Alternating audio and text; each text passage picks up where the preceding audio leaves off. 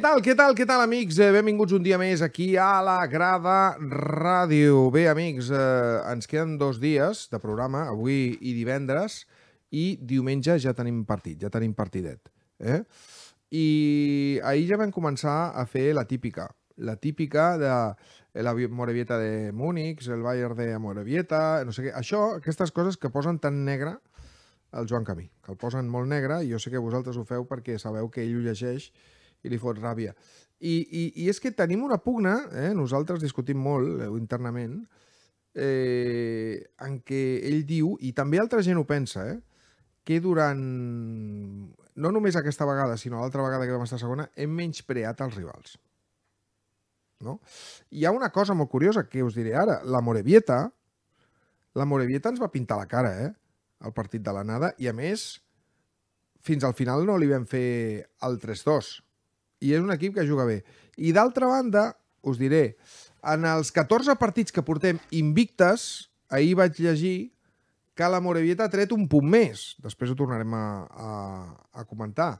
O sigui, han tret un punt més en aquestes 14 jornades que no pas l'Espanyol. Imagina't com ens canviaria a nosaltres la vida ara amb un puntet més. I després ells se juguen doncs, el que juguen. I, I són un rival que darrerament encadena victòries, cosa que tu no. Tu portes ara una victòria i no sé quants empats fins a la darrera victòria, sense comptar aquesta, òbviament, que va ser davant... també agònica, eh? eh davant l'Albacete. És a dir, és a dir, hem subestimat una mica els rivals o hem sobreestimat una mica l'Espanyol? Perquè les dues coses. I, sobretot, Té incidència, això, perquè jo sostinc la teoria, potser equivocada, de que sí que possiblement, no diré que no hem subestimat una mica de vegades els rivals, puc fer mea culpa amb això, però jo sostinc la teoria de que això eh, ho ha pogut fer potser l'entorn, no? premsa més afeccionats, vosaltres, nosaltres, sí que a vegades hem de dir, home, aquí és de guanyar, no? i pum, te la foten. Per exemple, jo recordo haver dit, un dels camps més fàcils que ens queden de final de temporada fins eh, tal és el camp de l'Eldense. Of, hòstia, en tots els morros. Però, però, eh, jo crec que això, o sigui, el que aquí parlem, el que aquí diem, eh, tal no... Eh, I si realment caiem en el pecat de subestimar els equips, els rivals, jo crec que això no, no té que, o no ha de tenir incidència amb el que pensi un equip professional. És a dir, si nosaltres doncs, cometem el pecat de, su, de subestimar, ells haurien de saber el que s'hi juguen. Que quan ells ens transmeten a les seves declaracions mmm, que el pròxim partit serà un rival molt difícil, que són tots, no? doncs realment s'ho creuen? És a dir, són ells els que han de demostrar que són humils. La humilitat és córrer igual que el teu veí i després guanyar-lo. Eh, avui, de tota manera, vull parlar sobre aquest tema i sobre altres, tenint en compte això, que anem a la visita del rival que té el pressupost més baix de la categoria i que eh, va camí de salvar-se si aconsegueix, va, eh, ho té a la mà. Perquè primer depenen gairebé d'ells mateixos, perquè eh, tenen un partit contra el Mirandés, l'últim partit, és veritat que el tenen a Miranda d'Ebro, que si el guanyen, molt probablement faran el sorpasso al Mirandés també abans en tenen a nosaltres. I estan muntant una que, evidentment, dins de la seva eh, humilitat, perquè és un poblet petit, estan muntant autocars, entrades, històries per mobilitzar al màxim a, les, a la seva gent, a la gent que tenen per omplir l'Ezama i posar-nos les coses encara més complicades, encara més difícil. Eh, de tota manera, jo seguiré pensant que l'Espanyol no té excusa per guanyar a Morevieta per molt que no, amb això no li falto el respecte al rival. Però jo crec que l'Espanyol a Morevieta ha de guanyar.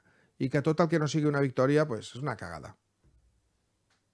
Com ha estat una cagada quan has anat al Corcón i no has guanyat, com ha estat una cagada quan has anat a Andorra i no has guanyat, com ha estat una cagada totes, tots els partits que has jugat contra rivals inferiors, que són la majoria, i no has guanyat, no has estat capaç de guanyar. És el que penso, Potser penseu que alguns de vosaltres que soy soberbio, no? que, soc, que, que m'invaeix la supèrbia per pensar així. Ho sento, però ho penso així, insisteixo, per mi, humilitat és anar a l'Ezama, al camp on juga la Morevieta, a córrer igual que la Morevieta, i si pot ser una mica més, i guanyar-los. Això també per mi és el meu concepte de la humilitat esportiva. Comencem amb el programa d'avui, com sempre, amb les notícies del dia.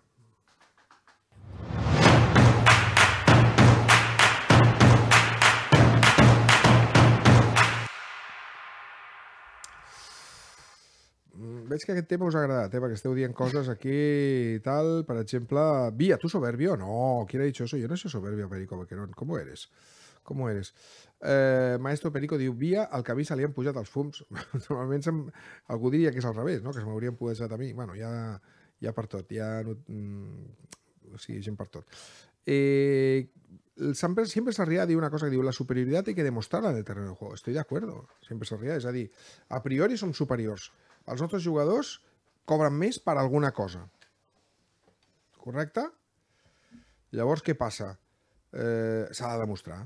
O sigui, tu no guanyes un partit ensenyant la nòmina. Tu guanyes un partit corrent igual que el rival i demostrant que tens més talent. Tots els nostres jugadors tenen o haurien de tenir més talent que els jugadors de la Morevieta. Una altra cosa és que els guanyis. Rafa Lacalle diu, vamos a ganar los seis puntos que quedan. Mm, hosti, Rafa, has fet un rush final que et felicito perquè has estat molt, molt, molt eh, optimista. Marta, Què tal, Francesc? A mi em sap greu, eh? Venia a baixar el suflé, però és que estic totalment fora de de- d'aquesta... Bé, si hem sobreestimat a l'Espanyol o si hem subestimat els rivals. Jo crec que és molt més senzill que això. Ni club ni equip han estat a l'alçada. no, no, això és un altre tema. Perquè Això és un altre tema. amb, amb la pregunta en general, ara està, és, està com molt de moda, no? Dir que potser anàvem molt de sobrats, que potser doncs, ens vam cansar que això seria molt fàcil. Ni vivim nosaltres al planeta Piruleta, ni... És a dir, aquí el tema jo penso que és clar, que ni club ni equip han estat a l'alçada del que requeria la temporada. En cap dels sentits, ja des de la planificació, amb tot el que ha succeït a la banqueta i, evidentment, doncs donar-li la seva quota, que no és poca. Els jugadors no han estat a l'alçada, i no és casualitat, quan la gran majoria de la plantilla està lluny del que en algun moment ens han ensenyat que poden, que poden fer. Per tant, el rendiment ha estat molt per sota de la mitja en gran part dels jugadors.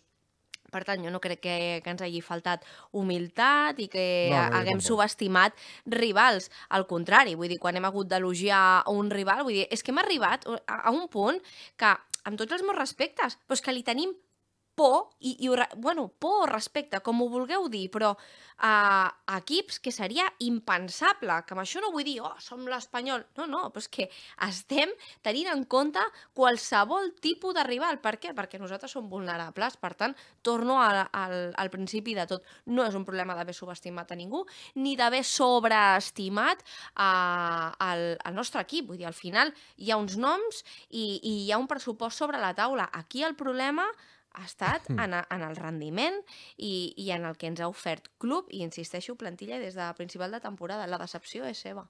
Bueno, pues, És el- és el meu punt de jo també vista, eh? penso, jo també penso És el meu punt de similar. vista. O sigui, el que passa és que al marge del que han fet ells, doncs el que sosteníem i el que alguna vegada es parla és que si nosaltres com a entorn eh, el no valorar els rivals en la seva justa mesura o a, pen o a pensar que és molt senzill o que era una categoria on l'Espanyol s'havia d'haver passejat que jo ho segueixo pensant eh, però, o com a mínim ja, si no vols dir passejar-se, com a mínim tenir avantatge. És a dir, l'Espanyol mm, ho he dit moltes vegades, fent una temporada normaleta hauria d'haver tret 7 punts, a- 7, 8, bueno, ja tenia aquesta primera. Ja hauria de ser primera. Amb aquesta plantilla, amb aquest potencial ho hauria de ser? Per tant, bueno, és que estar com estem a aquestes alçades, sincerament, per mi, a part d'un fracàs, és una vergonya. No s'ha estat a l'alçada i, i jo penso que, que ho hem de reconèixer com a tal. Després, doncs, hi haurà visions per tot, eh? Vinga, dir, parlarem del tema va, com- comencem Comencem? Doncs va, comencem. Uh, estem pendents de, de l'entrenament d'aquest matí a la Dani Harke, aviam si podem rebre algunes imatges. Ahir, recordeu, van tenir jornada festiva, tornaven uh, avui a, a la feina i estem pendents, evidentment, de l'estat dels lesionats, Grajera, Polozano i, i Jofre. Haurem de veure doncs, si de cara a aquest diumenge ja en podem recuperar algun. En principi, Pol és el que hauria havia eh, d'estar de, de tornada, ja us ho vam dir, la setmana passada les sensacions que tenia el jugador a mitjans de setmana ja no eren bones, i en el cas de Grajera sí que ho sabem i us ho hem explicat des de l'inici, el jugador volia forçar, però evidentment doncs, eh, mèdicament no era possible, haurem de veure si aquesta jornada és la bona. En el cas de Jofre, doncs tinc més dubtes, Francesc. No, està clar. Jo crec que Grajera sí que estarà. I Pol hauria d'estar. Pol hauria d'estar, però no tenim més informació al respecte. Jo sé que Grajera ha intensificat molt, de fet, va intensificar per poder arribar, ho hem explicat aquí, però eh, finalment doncs, eh, jo crec que sí que el tindrem per a Morevieta. I és vital, i és vital, i és vital. Eh, fixa't que, de tota manera, no tinc molt clar el centre del camp, eh? perquè jo, per exemple, veient com, per exemple, va acabar l'altre dia el partit Keidi Bare, Jo per mi Keidi és titular. per mi seria titular Keidi també. I aviam què passa amb Aguado. A Morevieta, eh, jo crec que si està a Garajera jugarà titular. I eh, veurem, veurem què passa amb Nico, eh? Tinc molta curiositat de Nico Melamed. Molta, però molta, molta. A veure si juga amb eh, Nico o, o no. Veurem. Vinga, som-hi, va. També pendents de, ara al migdia, roda de premsa de Joan Garcia. La setmana passada el vam poder entrevistar, divendres eres a la Dani Jarque i vam poder parlar amb el porter de l'Espanyol, doncs avui és el protagonista triat pel club per atendre els mitjans de comunicació i tenim el Carlos Babs allà, que el tenim fent feina perquè també està, eh, bueno, de fet, en aquests moments està entrevistant a Marc Torres, per tant, doncs, Mhm. eh, tothom pendent perquè tindreu... Per la nostra web. Ah, exacte, tindreu una entrevista amb la Mar Torres a la nostra web, aviam si podem sortir de dubtes i saber doncs, si a part de la Romi doncs, ella pot ser una de les integrants de la plantilla de temporada que ve i com us deia doncs, eh, està previst, eh, l'hora no està tancada, cap a la una, dos quarts de dues doncs, podrem eh, escoltar a, a Joan Garcia. Parlàvem ja una miqueta de, de la Morevieta i eh, donaves una pinzellada, Francesc, de com arriba la Morevieta a aquesta jornada 41 ja de la Lliga Hypermotion i evidentment eh, ho sabem, ens passa a cada partit i no serà fàcil doncs, treure els, els tres punts. Necessitem aquest triomf, eh, en aquest cas a l'Ezama, eh, bueno, per seguir en vida i, i, i veure doncs, si pots arribar viu o no a l'última jornada doncs, aspirant a, a l'ascens directe, però eh, a la Morevieta atenció, és el segon millor equip en els últims 10 partits de la Lliga Hypermotion. Per tant, tindria números d'ascens directe. Aquestes dades ens les, ens les trobàvem a, a Twitter precisament avui el tindrem aquí amb nosaltres, el, el programa. Francesc, no sé si ens ho pot posar el Santi en pantalla. El Fernando Romero, en aquest cas, aprofitava un tuit que feia la Lliga Hypermotion que deia 14 partidos invictos, eh, amb una foto de la pinya de l'Espanyol, i ens feia un resum de victòria, empat, empat, empat, empat, victòria... Bueno, ens deia aquests 14 partits com s'havien donat, el veieu aquí en pantalla, i el Fernando Romero ens deia això, que la Morevieta eh, portava en aquests moments 7 victòries, 4 empats, 3 derrotes, 25 punts en el temps que l'Espanyol sí ha estat invicta, però ha sumat un punt menys. Així que, uh, aviam què, què ens trobem amb la Morevieta. A veure què ens trobem amb la Morevieta. Eh, doncs eh, ens trobarem un equip que li posa moltes ganes, uh -huh. que ha muntat autobusos gratuïts i, i entrades a 5 euros pel ser, per la gent del poble, que, que tenen ganes de seguir veient futbol professional, que ja és la segona experiència que tenen perquè van pujar una vegada, van baixar, i ara jo crec, jo crec que si fan bé les coses, evidentment nosaltres els hem d'impedir, es poden quedar un any més al futbol professional, que mossegaran com a bojos, que a sobre tenen un xaval malalt, que és el Fèlix Arreta, i que això també es motiva perquè li volen dedicar els triomfs, i un equip eh, que ens tocarà molt al vora viu, amb la qual cosa ja cal que eh, ens espavilem. I amb això demostro doncs, que els tinc en compte. Però alhora també dic, hem de guanyar la Morevieta, tu.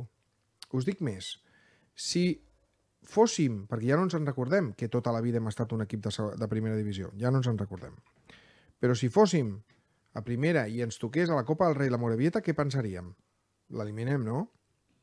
Partit únic, encara que sigui casa seva, pensaries, l'eliminem. Però nosaltres, doncs, eh, evidentment, això no vol dir que sabem que per eliminar-los, o per guanyar-los, és a dir, malgrat el símil, doncs el que hem de fer és córrer el mateix que la Morevieta, fotre-li les mateixes ganes que la Morevieta, eh, anar a totes com anirà la Morevieta. I després la qualitat, que nosaltres en tenim més. I hem de guanyar. Sergi Hierro diu, és bàsic que ens adentem al marcador. Ens avancem al marcador, estic d'acord. Estic d'acord. Estaria bé, sobretot, per, perquè normalment a aquest equip li costa que li guanyin. Això ho ha demostrat. Últimament li costa. És el, partit que me... és l'equip que menys partits ha perdut de tota la competició. Però, clar, li costa guanyar, també. Què més? Doncs cap a la una, eh? Estarem amb el Fernando Romero, que era qui, Romero, qui correcte. feia uh, aquest tuit i que ens porti doncs, aquesta última Hem vist, el, hora. hem vist per ser... El... Ah, sí que l'ha posat, no? Sí, l'ha posat, l'ha posat el Santi.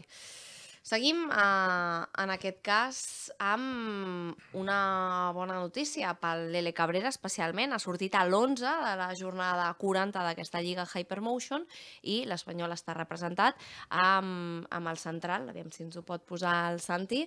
Veureu, doncs, aquí compartint eix de, de la defensa amb, amb Arbilla, veiem per esquerra Franquesa, Álvaro Núñez per la dreta, Andrés Fernández va ser en aquest cas el porter més ben puntuat d'aquesta jornada.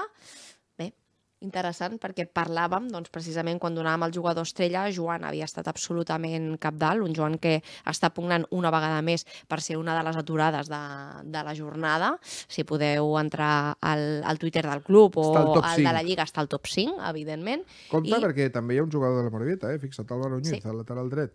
Eh, Santi Cazorla jo crec que s'ho mereix. Eh, em sorprèn la temporada que està fent Arbilla, amb l'edat que té. I eh, Raúl Moro ja el vam veure contra nosaltres l'altre dia, és un, mm. és un bon extrem, i Arana, que és un bon davanter centre, que, que amb el Racing de Santander està fent força gols. Eh, I nosaltres hem col·locat Cabrera. Bueno, està bé. Què més? Hi ha promoció d'entrades per l'última jornada, Francesc. El club ha a començat veure. a, moure fitxa i, en aquest cas, podríem dir, tira la casa per la ventana, perquè ara sí Bueno. que eh, podríem dir, home, són preus més populars que cap altra vegada, no sé si és per això que és l'última jornada, però com et deia, promoció d'entrades per l'Espanyol Cartagena, tíquets per socis a partir de 5 euros i eh, mantenen aquesta entrada extra gratuïta per, per cada soci. Les entrades addicionals a preus especials, en aquest cas els 5 euros serien a, als gols o al córner, si és tribuna tindrà un preu de 10 euros, si és tribuna presidencial de 15, entrades com sempre infantils gratuïtes fins a 15 anys, tant a la grada inferior com a la grada superior, tribunes, gols i córners, i les entrades VIPs també estan al 50% de, de descompte. Bueno, doncs eh, Veurem. jo pel que d'alguna manera mm, hi ha en joc, ja directament hagués fet entrades gratuïtes, eh? obriria portes, com qui diu. Però vaja, com a mínim, doncs eh, aquestes són 5 euros, són bastant testimonials, no ens enganyem, no ens enganyem. Així que jo crec que hi haurà una molt bona entrada, però sobretot el que ajudarà a tenir una molt bona entrada és que et, ju- et juguis alguna cosa, no? Mira, Illimits s'ha subscrit en Prime per 4 mesos. Home, i a més és benvingut. Gràcies. És nou. Gràcies a Illimits. O a Illimits o Li- Illimits, no sé com dir-te. Vinga, què més? Va, va, va. Doncs ahir eh, explicàvem durant el programa, atenció, que el Toulouse ha anunciat un amistós contra l'Espanyol. Doncs mira, ahir també coneixíem per la tarda que l'àrea esportiva de l'Espanyol havia avançat en la planificació d'aquesta propera pretemporada i una de les primeres decisions que s'han pres i que ja s'han oficialitzat ha estat en escollir a l'hotel Torre Mirona a, Navata com a campament base per completar, ja ho sabeu, el típic eh, estatge estiuenc. En aquest cas, doncs tornen a terres catalanes després de quatre eh, estius a Marbella, a, a Màlaga. Digue'm bé, a mi. Uh, sí, doncs mira, en aquest cas estaràs més a propet de, de casa. Sí, Ah. bueno, tinc un liu també, perquè bueno, ja, ja, ja t'ho ja explicaré. Tu estàs de vacances aquests dies? Eh... Sí. Sí. Bueno, és la Vale. festa major de Monistrol, però Bueno, bueno, que si és precís... No, t'ho dic perquè... Ma, Navata... Tindré que fer jo un És max... accessible. Tindré que fer un max mix, perquè tinc un altre compromís familiar. Però, però, eh, recordeu que ahir us vam dir ostres, acaba de sortir que juguem a Navata contra, contra el Toulouse. Va ser enmig del programa. Doncs mira, es va precipitar tot, ja ho teníem mitja i tal. Jo durant el programa estava intentant que m'ho esbrinessin no, i s'ho van guardar per dir-ho per la tarda. Bueno, Navata està bé. Eh, recordo que l'última vegada que hem anat a Navata va ser amb David Gallego. Eh, pf, no porta molt bons records, la veritat sigui dita. Però eh, jo trobo més lògic anar per Catalunya que no pas anar a Marbella. Marbella està molt bé, hem passat dos estius a Marbella que hem estat bé passant una calor terrible. I també us dic una cosa, eh, les dates, és un estatge molt curt, curtíssim, són set dies d'estatge, Del 24 al 30. set dies. Eh, és l'estatge més curt que jo recordo últimament. Això té que veure segurament en què, òbviament, l'equip doncs, ha de- ha d'estalviar perquè si no hi ha un canvi accionarial doncs, i, evidentment, doncs, ja en previsió i també en previsió de que, evidentment, hem de fer els play-offs, segurament, doncs ja anem més tard del que normalment anàvem a aquests llocs. Normalment anàvem al 21, haguéssim anat a, a, a principi de setmana. Llavors, què passa? Que entre que ja es veu venir que farem playoff i has d'estirar les vacances dels jugadors, us ho vaig dir més temps, i entre que no volem gastar molts penpips, perquè és normal, perquè la cosa està així, doncs, eh, bueno, està bé. Eh, També et dic una cosa, és una bona opció perquè pugin, pugi la gent de l'Espanyol a veure l'equip. Mm. Hi haurà partits, jo crec que eh, segur que cau algú contra el Girona, segur que cau algú... Si està per allà també la Real Societat, no? que resulta que també jugarà Sí. un partit amb Toulouse, doncs, bueno, penseu que més o menys els rivals que tindrà el Toulouse eh, doncs també segurament els tindrem nosaltres. Veurem si, si el fa de més o de menys. Ja veurem exactament quants partits, quant de temps, perquè, insisteixo, ara tot està una miqueta en l'aire. Tot està en l'aire, perquè el que compta és saber en quina competició estaràs l'any vinent i, sobretot, si faràs playoff o no, que evidentment tot sembla ser que sí, però eh, doncs, eh, tot això està alterant totes les, totes les circumstàncies. Totes les circumstàncies. Tot. I no et dic ja doncs, la possibilitat de que hi hagi un canvi doncs, eh, d'accionari al club, que ho desitgem molts, però que de moment encara la cosa no està tancada. O sigui, oblidem-nos d'aquest tema i quan us torni a parlar serà perquè les coses donin un avançament important. No podem estar tots els dies. Això no és un F5 que van passant coses, o sigui, és un, no, és, no és un partit de futbol. Això és una situació mercantil. I una situació mercantil hi ha dies que estava parada i el dies que es desencalla tot. Seguim. Doncs per últim ja anem a, a parlar de fitxatges per la 21. El club ha fet oficial l'arribada de Lucas Alves, que aterrarà el juvenil A, arriba procedent de la Fundació Mercet. Sabeu, no fa gaire el club va estar signant uns, uns acords amb, per exemple, el Badalona, també ho va fer amb la Fundació Mercet i doncs, aquest matí coneixíem l'arribada de forma oficial de Lucas Alves. Veieu aquí, en aquest cas, el tuit que, que ha fet el club. Sí, molt bé, perfecte. Hi ha un altre, no? També? Hi ha un altre, ah, exacte. En aquest cas no és oficial per part del, del club, però eh, no sé si ens ho pot passar també el nostre company Santi Barrantes. Bueno, és que ara, de fet, Hem fitxat un que nano que estic- es diu Muñeco. eh, apodado Muñeco. De hecho, creo aquí, aquí está. No, no, no és oficial, però la foto ja se l'ha fet. Eh, o sigui que la, sí. la foto... Ells no li han donat oficialitat, però la foto, si us fixeu, Ah, exacte. se l'ha fet al mateix lloc que se l'havia fet l'altre nano, es veu un, canto, un cantonet de la bandera de l'Espanyol per un costat, Sí. és a dir, que xaval està fitxat. I punto. Eh, I aquest era un conte, doncs aquest Havoc Blog Gavà, Sí. sí. però he, he pogut rescatar també eh, un tuit que li estic passant en aquest cas al Santi Barrantes, oficial del Gavà. Vale. I O sigui, al Gavà ja li dona oficialitat. Al Gavà ja li donen I l'Espanyol oficialitat. encara no ho ha fet. Bé, eh, donen- d'altra banda, d'altra banda, eh, jo us he dit alguna altra vegada que hem perdut molt de peu al futbol base i la seguim perdent, el seguim perdent. Jo aquesta cap de setmana he conegut un nano, un pare, vaja, que eh, són d'aquí, de Barcelona, i s'emporta el seu fill al Girona per bé que David Garcia ha estat darrere d'ell com un boig i finalment doncs, eh, s'emporta el nano al Girona perquè o sigui, prefereix, és un xaval de 12, de 12 anys, eh? prefereix portar el nen al Girona on veu més eh, possibilitats que no passa a l'Espanyol. Eh, aquestes coses a mi em deixen... Bé, en fi. Seguim, va, som-hi. Parlem uh, de Ferco. Parlem de Ferco. Això sí que em posa de bon humor, l'altre no.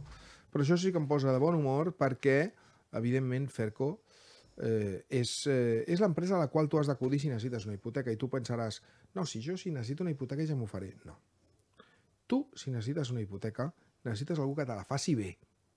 Qui te la farà bé? La gent de Ferco. Perquè coneix perfectament tot el mercat hipotecari. I tu penses que és fàcil, però no ho és. No ho és perquè hi ha molts aspectes a tenir en compte quan tu fas una hipoteca. Llavors el que has de fer és estar segur que fas la hipoteca correcta.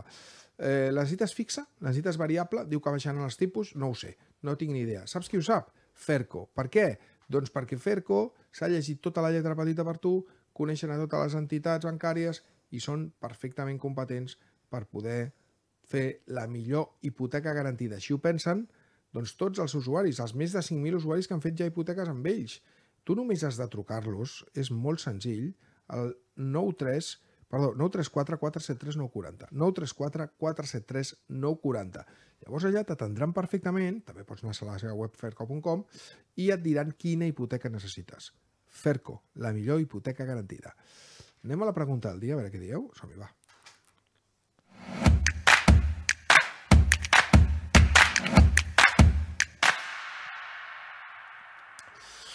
Per, per cert, Francesc, que ha sortit la convocatòria de, de la selecció catalana, que jugarà Sí. contra Panamà a la Creu Alta. No hi ha cap jugador de l'Espanyol. Bueno, Hi ha ex-pericos, però en aquest cas no hi ha cap jugador de l'Espanyol. bueno, seguim. Doncs anem en aquest cas amb la, amb la pregunta del dia. Avui doncs, ens interessava saber una miqueta doncs, si veieu eh, en aquest cas que, que hem subestimat, us ho deia el Francesc al principi del programa, els rivals de, de la categoria. Les quatre opcions que es donàvem, la primera és en absolut, la segona és una mica sí, la tercera pot ser, però això no ha, ha d'influir el que pensem nosaltres o no. I la última és per suposat. Doncs, via, està tot empatadíssim. Uh, la més votada en aquests moments, amb un 27, són els que diuen en absolut. Un 25%, dues opcions, en aquest cas, pot ser, però no influeix, i per suposat. I la menys votada per molt poquet, amb un 23, són els que diuen que una miqueta sí. Entre els comentaris, mira, a tot espanyol diu nos ha costado aceptar que la plantilla no es tan superior como debería ser por presupuesto. Ni los refuerzos ni los jugadores que tenían que haber sido diferenciales han estado a su mejor nivel y aún así seguimos con posibilidades de ascenso.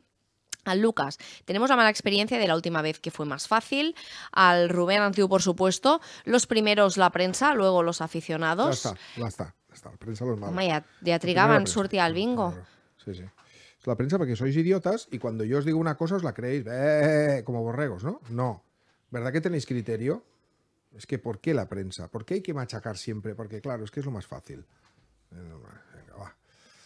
Ay, ay, la gente. ¿Qué més? Nos digo, en todo caso, creo que hemos sobreestimado a nuestra plantilla. Al Pedro, ha sido uno de los años flojos de esta categoría. Cualquier otro año que hubiésemos hecho una campaña así, habríamos llegado al playoff por los pelos y el ascenso directo estaría ya decidido, sería exclusivo de tres equipos. No hemos sabido aprovechar nuestra superioridad. També tenim per aquí, a, a veure, vaig una miqueta més a baix, eh, perquè els primers que opinen si no es quedan fora. Cristina López, subestimar a los rivales no, pero sí hemos sobreestimado a los nuestros creyéndonos capaces de algo que luego hemos visto que no iba a ser tan sencillo. A eso súmale la presión por ascender de los jugadores han tenido desde el principio de temporada o llegeixo, per exemple, l'Axel. Diu, y también hemos sobrevalorado a nuestros jugadores. Tenemos la misma nefasta defensa que nos llevó a segunda y era difícil que no nos hicieran perder partidos y esto se veía desde la pretemporada. A veure, jo puc admetre que jo he, jo he sobreestimat a la, a una mica la plantilla, una mica. De tota manera, segueixo pensant que la plantilla eh, té prous arguments per, per, per l'ascens directe. És així, encara que no ho hagi demostrat. I no ho ha demostrat. D'acord? Eh, però, per exemple, jo m'esperava més de molts jugadors. M'esperava més de Guado. M'esperava més de Pere Milla. Ja no et dic el que m'esperava de Keita Valdé. Em, M'esperava més de molts altres. No, no vull assenyalar ningú. M'esperava més d'Olivan. M'esperava més de, del conjunt de la defensa, que tot i que era una de les defenses més golejades a primera, pensava que a segona mm, tindria més solvència. M'esperava més de molts jugadors. De la majoria m'esperava més. De Puado, tot i que ha fet un, una xifra de gols que hem de tenir en compte, però m'esperava més de Puado. Molt més de Puado de la majoria. És així, és així. Eh, hem sobreestimat a la nostra plantilla. Això sí que ho compro. Ho compro. Però és que crec que ells mateixos s'han infravalorat o han fet un rendiment inferior a les seves capacitats. Jo crec que aquests futbolistes que he anomenat poden ser millors. Poden ser millors. I podien haver rendit més. Ja no parlo ni de Nico Melamed. Han rendit per sota de les seves possibilitats.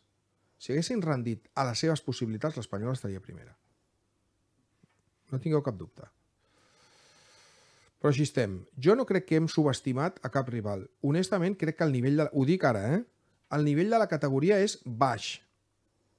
És més, jo crec que és una de les segones divisions més baixes de nivell dels últims anys. Sempre hi havia dos o tres equips que marcaven la pauta. Enguany no ha estat així. El, el Leganés, que és l'equip que mm, no sé si pujarà líder però té molts números per pujar-hi, el Leganés és un equip molt justet, per primera divisió, justíssim. Quina és la figura del Leganés? Encara no ho sabem. Compacte, sòlid, ben treballat, rocós, amb trec al barret. El Valladolid estat fent la pena tot l'any. Tot l'any. Però al final han agafat cinc partits amb rivals fluixos i els han guanyat i estan on estan. I no hi ha més. O sigui, imagineu-vos si era fàcil guanyar aquesta lliga. L'Espanyol ha perdut aquesta lliga, i dic ha perdut la lliga, perquè dubto molt que la guanyem, tot i que pot donar-se aquell mitològic empat a 71. L'Espanyol ha perdut aquesta lliga contra els equips molt inferiors a ell. Però molt. És a dir, jo segueixo pensant això, i segurament pensaré això fins al final. M'equivoco? És possible. Tots teniu la vostra opinió, tots la tenim. Com el senyor Kowalski, que també la té. Sí, què tal? Com bon estàs, dia. guapo? Molt bé. La pregunta, la veritat, és que és molt interessant, però a la vegada és, és complicada, perquè, primer de tot, clar, a qui ens referim? Eh, és a dir, ens referim a l'afició, no, no. a dins del club, Claro. a la plantilla... Això és, una, un matís important perquè avui justament eh, li he enviat la, la pregunta al Joan Camí i m'ha dit que estava mal plantejada perquè ell es refereix a l'entorn, eh, eh, seria premsa més afició, no? Eh, jo no crec que l'entorn ho hagi subestimat, però sí que dic, i és una cosa que hem parlat amb la Marta, que encara que ho haguessin fet, ells, és a dir, els professionals, no han de fer-ho. Ja. A més, en els seus discursos no ho han fet. Han dit, no, no, és un rival muy difícil, este es un campo muy difícil, todo era muy difícil. Per justificar també que no han arribat a, a donar el nivell. ja. És que quina transcendència pot tenir que nosaltres eh, subestimem a, al rival? De veritat? O sigui, juguem nosaltres? A veure, voy, voy Ah, a jugar de, de abogado del diablo, ¿vale? Te voy a llevar la coses em perquè... semblen Per veure, per exemple, de per exemple, per exemple, mira, reconeixem una cosa. Molta gent es va posar nerviosa en el primer tram del campionat amb Luis, i no parlo de la premsa, porque evidentemente ya fuimos baltuizados como las vidas del Era Luis nuestro y- amigo. y que le pasábamos todo el Mal, ¿vale? portar Però és veritat que de molta gent es va posar molt nerviosa, per exemple, amb el 3, amb el 3 a 2 a la Morevieta, Uh -huh. amb el 3 a 3 amb l'Eldense, amb el 3 a 1 a Vilareal allà, ja la gent el volia matar. És a dir, és veritat que eh, es crea un clima perquè de vegades pensem que l'Espanyol no pot perdre a Villarreal. I menys 3 a 1. Però sí pot perdre a Villarreal perquè va perdre. Llavors és veritat, estoy dando un poco argumentos a, en contra de lo mismo que yo pienso, ¿eh? pero ho dic perquè hi hagi debat. I també per, no, i para ver un poco lo que hay en el otro lado. És veritat que si d'alguna manera eh, el Villarreal, que demostra que ara és l'últim, no?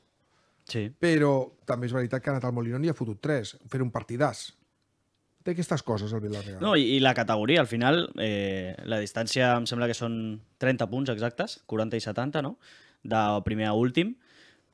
Hem vist eh, molts equips de descens guanyar equips en posició de descens directe o de playoff. Al final és normal a segona. Jo crec que aquesta temporada potser ha estat en- encara més igualat, però al final en una categoria on hi ha pressupostos molt parells, mm, jo crec que és bastant normal i passa, deu passar cada any, no? Ja, però és que nosaltres precisament, nosaltres precisament som el pressupost més diferent a la resta. Sí, sí, sí, però... en algun o sigui, cas per, pel doble i pel triple. El que vull dir és que és normal, però nosaltres, més que no acceptar que això passa en la categoria i que és normal que un equip que estigui on ara mateix està l'Espanyol classificat li pugui passar, no hem acceptat que l'Espanyol està en aquesta situació, jo penso. És una mica el mateix que amb la plantilla.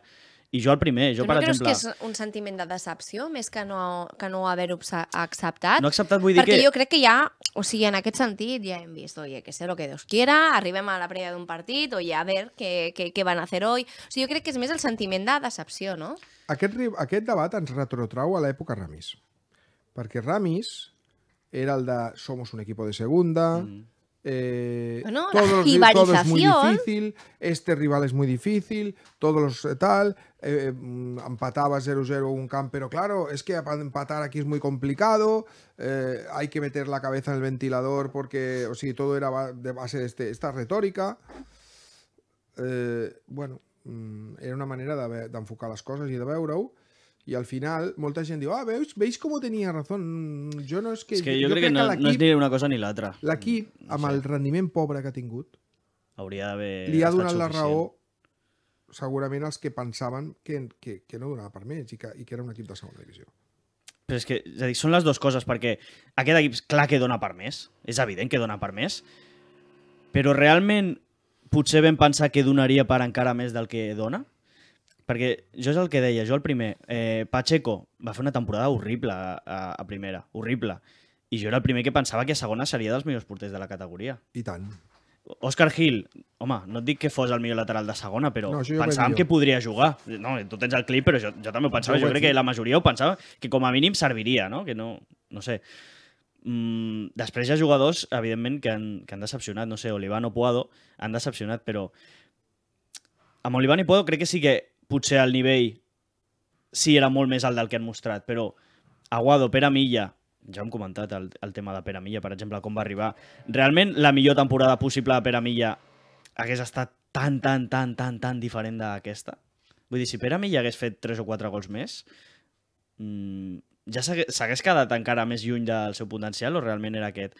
Aguado, clar, eh, evidentment podia haver fet una millor temporada, però realment eh, érem conscients quan el vam portar que suposava una baixada de nivell respecte a Darder?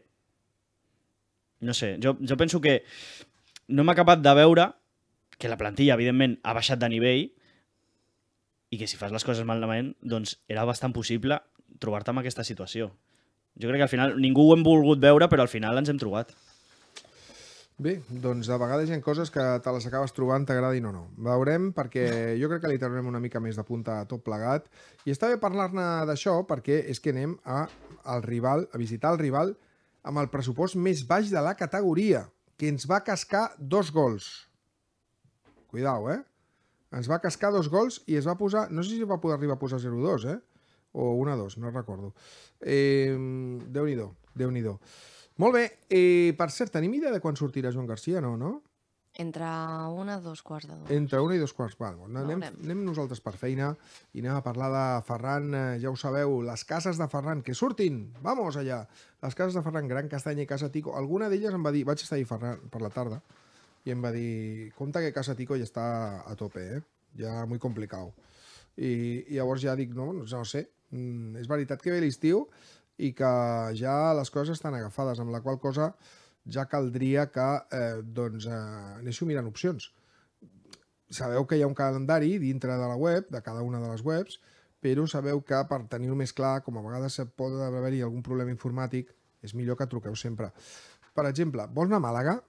Ara que no anirem a Marbella, doncs mira, podríem mirar eh, per conèixer Màlaga la Vella, que és preciosa.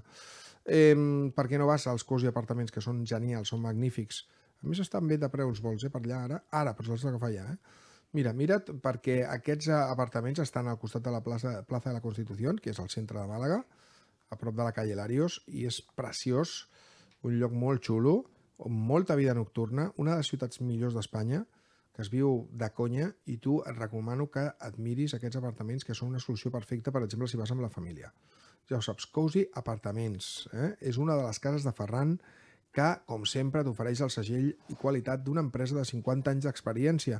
Són 50 anys en el sector immobiliari, venent, comprant pisos, llogant cases, el de tot, de tot, de tot, de tot, de tot, i sobretot locals. Són els millors de Barcelona en locals, el millor local pel millor negoci. Creu? Fica't això al cap. Si busques mai un local o coneixes algú que busqui mai un local, vés a Ferran. Són els millors, creu-me, són els millors en locals. El millor local pel millor negoci. Ja ho saps, ferran.es, la seva web immobiliària, ferranvacacional.com, la seva web de turisme vacacional. Digues, Marta. Carlos Babs ens diu que ja ha acabat l'entrevista, que està connectat per si volem el tema dels àrbits i ja se'n va fer Joan Garcia. Ah, doncs bé, bé, bé, això Què et sembla? Així que ens doni una mica les impressions des de la Dani anem a parlar amb ell, Anem a parlar amb ell, anem a parlar amb ell, anem a parlar amb ell. ¿Qué pasa? Venga, dale. Oye, ¿Qué pasa? Buenos días. hoy no ¿Cómo llevas, estáis? hoy vas sin croma, ¿no? Hoy vas a calzón quitado. Hoy sin croma. No, hoy estoy aquí, hoy estoy aquí. Vale, Carlos, oye, Arcediano Monestillo, ¿no? Sí, sí, vaya tela. Eh, acabo de sacar los datos. Bueno, antes de nada quiero decir que acabo de realizar la entrevista con Mar Torres. La verdad es que ha quedado una entrevista muy chula, una chica muy maja. Y si todo va bien, la vamos a tener el sábado por la tarde, la entrevista ya colgada en la web. Muy bien. ¿Se queda? ¿Vas a mantener el hype? Ah, ¿Hay algo ahí noticiable, Carlos Babs? Está, está la cosa ahí, está la cosa ahí, Marta. Todo lo dejamos para el Bueno, sábado. va, pues El sábado- nada, el sábado que lo lean en la no web. quiere desvelar Pero dímelo entrevista. por línea interna, yo sí quiero saberlo, por favor. bueno, luego te digo algo. Hay, hay cositas interesantes, eso sí que Bien. lo puedo decir. ¿eh? Bueno, perfecto. Muy bien. Vale, Eh, dime. Si os parece, antes de que salga Joan García, hacemos el, Vamos al lío. eh, los árbitros. ¿eh? El, el amigo, Damaso Arcediano Monestillo, que será el, el árbitro principal en el Amorebieta español del domingo, como todos sabéis, a las seis y media de la tarde. El colegiado es de Castilla-La Mancha, tiene 39 años. Es su decimosegunda temporada en segunda división. Lleva 287 partidos arbitrados, de los cuales son victorias locales 129, empates 94 y victorias vi- eh, visitantes 64. O sea, más casero no puede ser este árbitro. Sí. Respecto a tarjetas, a tarjetas amarillas, 1.567 tarjetas amarillas en estas 12 temporadas, Sí. sale una media de 5,46. O sea, es ¿vale? He estado comprobando. Sí, he estado comprobando las medias y la verdad es que en los partidos siempre saca esas medias. ¿eh? O sea, no he encontrado ninguno que, baje de 4. Es increíble. Sí. En cambio, me sorprende los datos en tarjetas rojas, que ha sacado en 287 partidos 90 tarjetas rojas, que sale a 0,3 por partido, que tampoco es una barbaridad.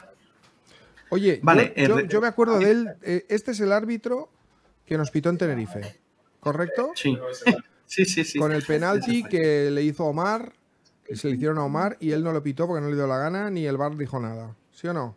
Eso es, eso es, este árbitro fue. Sí, yo no le tengo especial cariño, que digamos. Mm, De hecho, al español le ha arbitrado en siete ocasiones en toda su historia, porque claro, como es un árbitro de segunda división, que es mm, prácticamente espera, espera, que voy a decir una ahí. cosa buena de Arcediano Monestillo. ¿Tiene algo bueno? Venga, Sí. dilo. Bueno, bueno, nos favoreció. ¿Sí? Es el árbitro estuvo en el bar en la mano de Keita Valde, aunque él dijo que fue en el hombro. Ah, que os cambia el rollo ahora. Bueno, bueno, bueno. Pues Cambia. habrá que sentarlo en la sala bar y, y que no, y que no sea más árbitro principal. ¿eh? Sí, sí, sí. Vale, respecto al español, lo ha arbitrado en siete ocasiones. eh, el bagaje es bueno, porque al final han sido cuatro victorias para el español, dos empates y una derrota. En esta temporada eh, ha arbitrado como árbitro principal en cuatro ocasiones, con dos ganados, un empate y una derrota. Hay un datito, es que todos los partidos, ganes o pierdas, Sí. siempre es por la mínima. Siempre, Sí. nunca ha sido un 2-0, un 3-0, un 3-1, nunca. Siempre ha sido eh, 1-0, eh, 2-1. Es curioso eso. Está bien. Vale, y respecto al, a la Morevieta, son cuatro partidos los que los ha arbitrado, eh, uno ganado, dos empatados y uno perdidos. Y el dato curioso, excepto en el perdido, que perdió por 2-0 el Amorebieta, todos los demás por la mínima también. Vale. O sea, es, es un árbitro que a lo mejor sí vemos, o vemos muchos goles, pero que no va a haber mucha diferencia. No, de- es que yo no creo que vaya a haber muchos goles en este partido contra la Morevieta. ¿eh? Yo tampoco. Yo Yo tampoco. pienso que es partido de 0-1, 1-0, 1-1, 0-0, binario, partido binario o mm, máximo do- 1-2. O... No, yo estoy contigo. Yo pienso también que, que va a ser un 1-0 o algo así. ¿eh? No, no creo que haya muchos goles. Ponme en Pero 0-1, bueno, ponme en casa. ce- ponme en Sí. 0-1, claro, ponme en 0-1. Te lo- te- sí, sí, Venga. sí. Hecho, ¿qué más? Nada, ya está, ya lo tenemos el tema de los árbitros, ya está hecho y ahora estamos esperando aquí a Joan García que no nos han dicho nada, pero supongo que estará para dentro de 10 minutos para la una, como siempre, programado. Perfecto. Eh, ¿Alguna cosa? ¿Qué ambientillo hay por aquí, por? Bueno, están aquí los compañeros de, de Mundo Deportivo, está el compañero también de Radio Marca, Juan Asensio, está Rubén Martínez, y bueno, de momento estamos nosotros tres. Ahora supongo que irá entrando más gente. Perfecto, muy bien. Oye, pues cuando tengas noticia de que entra Joan, le, Yo os aviso. le dices alguna cosa, ¿vale? Hasta. Eso es. Venga, que vaya bien. Chao, chao. Molt bé, eh, doncs avui tindrem a Joan Garcia, tenim eh, també allà Carlos Babs i ens explicarà doncs, tot el que succeeixi. Marta, tenim opinió del dia? Tenim opinió del dia. Pues pa que... Víctor Maimó. Víctor Maimó, de Ah, los clar, Maimó de toda la vida. no vam tenir programa y tenemos Venga, a gente ahí con la vamos, necesidad Maimó, de decir algo. Vamos, Vale. Maimó. La, la, la, la, la, la. Vamos allá.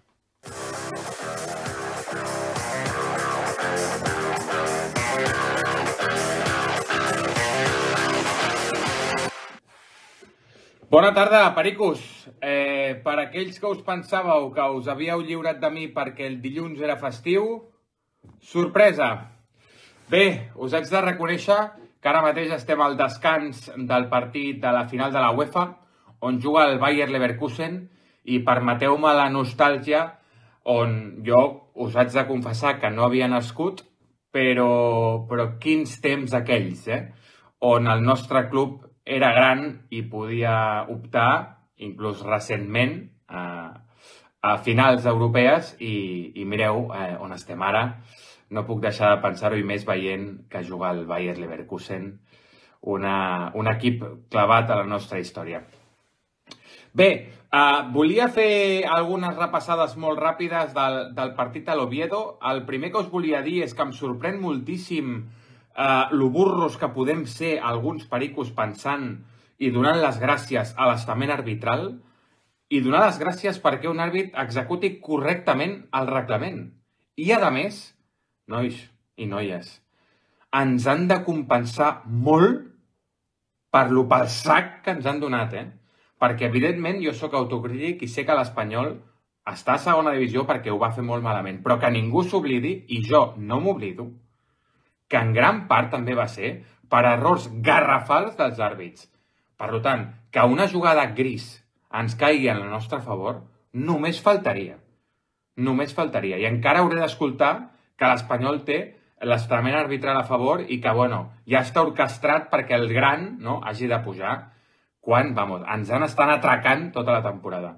Sobre el partit de l'Oviedo, jo perdoneu-me que sigui un punt més crític, tot i que la victòria ho pugui no, eh, maquillar una miqueta tot. A mi el partit no em va agradar gens, gens. Vaig veure un espanyol horrorós, però horrorós, dramàtic, eh, en una primera part on no donàvem una pilota, un equip que eh, realment està, està cagat, i que gràcies a una jugada absolutament aïllada en un penal que ningú va veure, i que era penal, l'Espanyol es fica al partit perquè és que la jugada no tenia ni perill.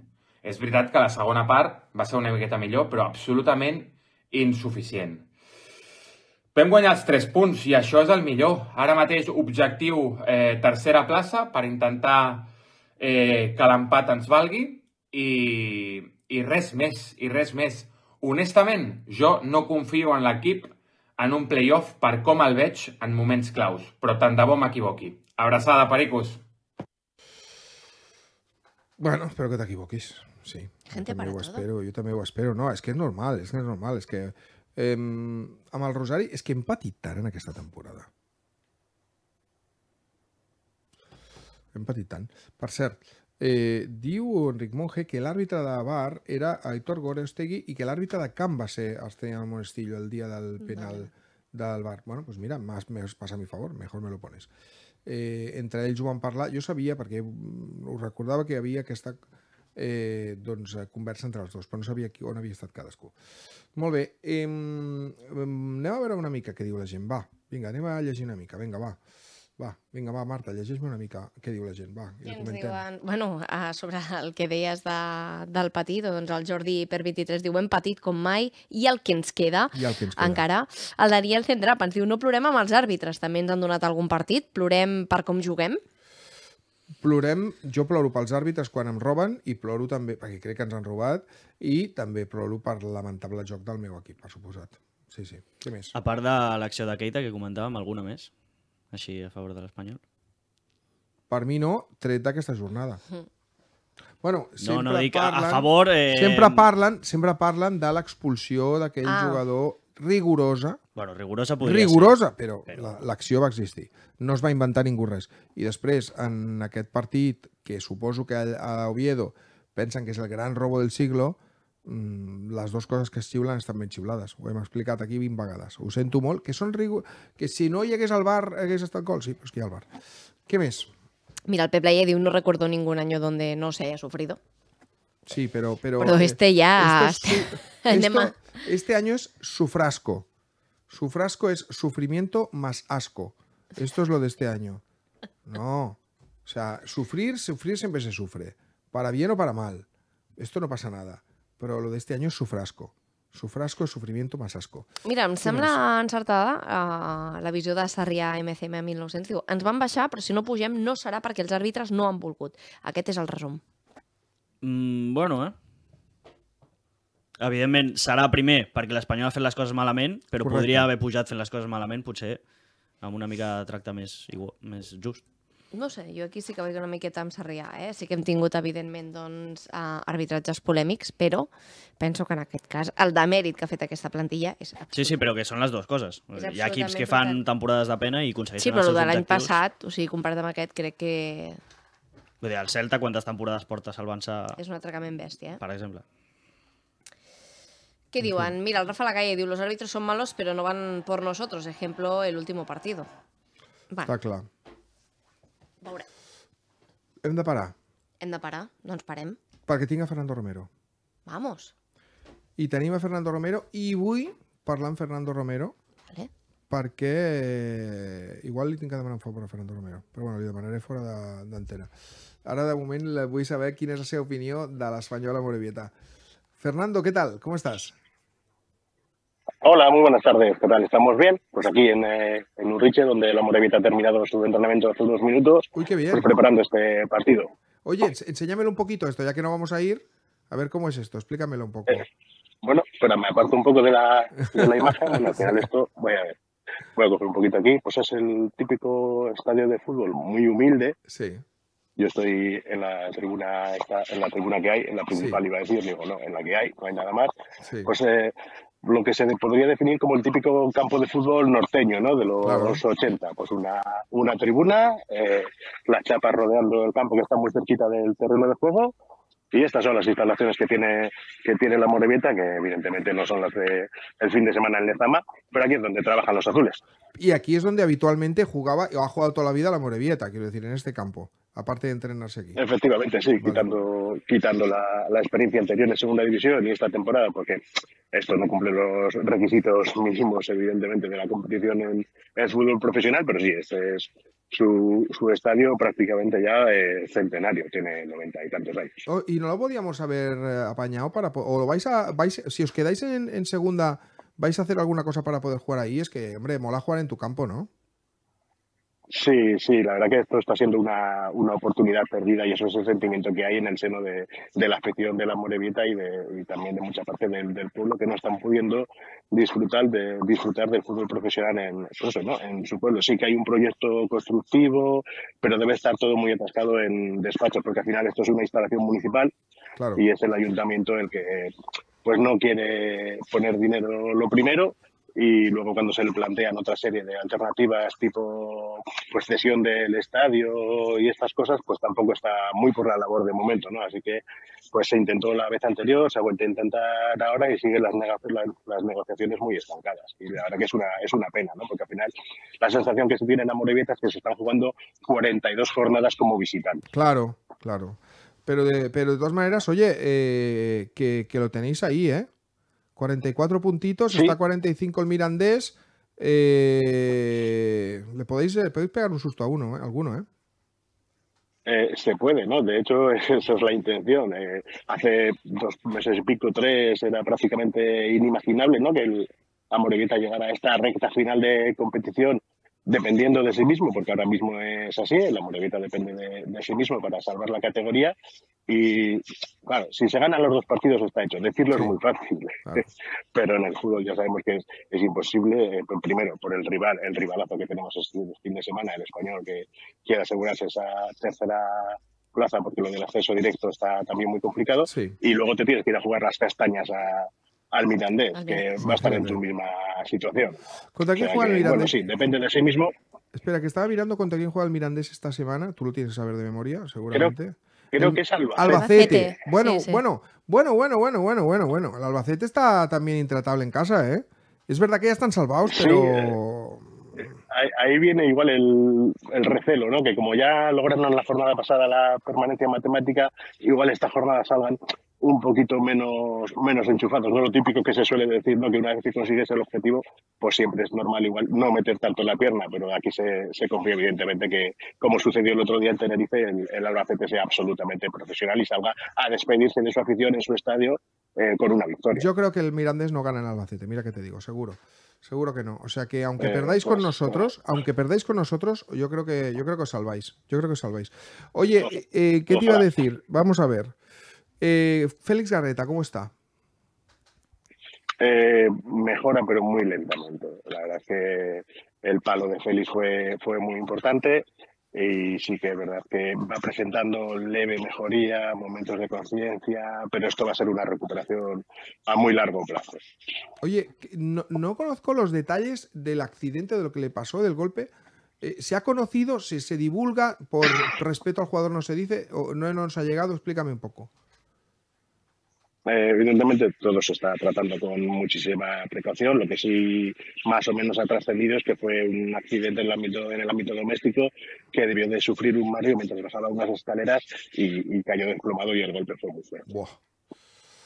Madre mía, un chaval tan Sí, joven. sí, y además de, de- de- de los más talentosos y prometedores de- del equipo, ¿eh? la verdad es que sí, porque es un tío que, bueno, eh, es catalán, pero esto es, pertenece al Betis, pero, pero un tipo que además había estado, había estado muy bien este año. Bueno, eh, Sí, sí, sí. Y, y cómo va la marea eh, un poco de, de la Morevieta? De, porque he visto que tenéis montada una con autocares, con no sé qué. ¿Cuánta gente vais a meter en el Lezama? Va. Bueno, pues vamos a intentar, o van a intentar que el Lezama se llene, ¿no? Teniendo en cuenta que ya desde ahí van a venir aproximadamente 500, 515 aficionados del español, el aforo del Lezama son sobre 3.200, pues van a intentar que, por todos los medios que, que el graderío presente un, un color azul y un ambiente bastante notable. Eh, si escucháis ruidos, que justo están pasando la corta de, lo siento.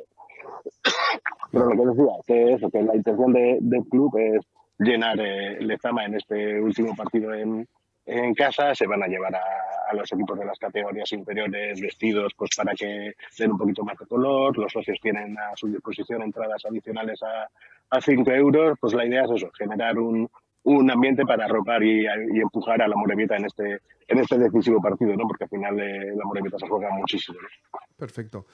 Marta. Fernando, ¿qué tal? ¿Cómo estás?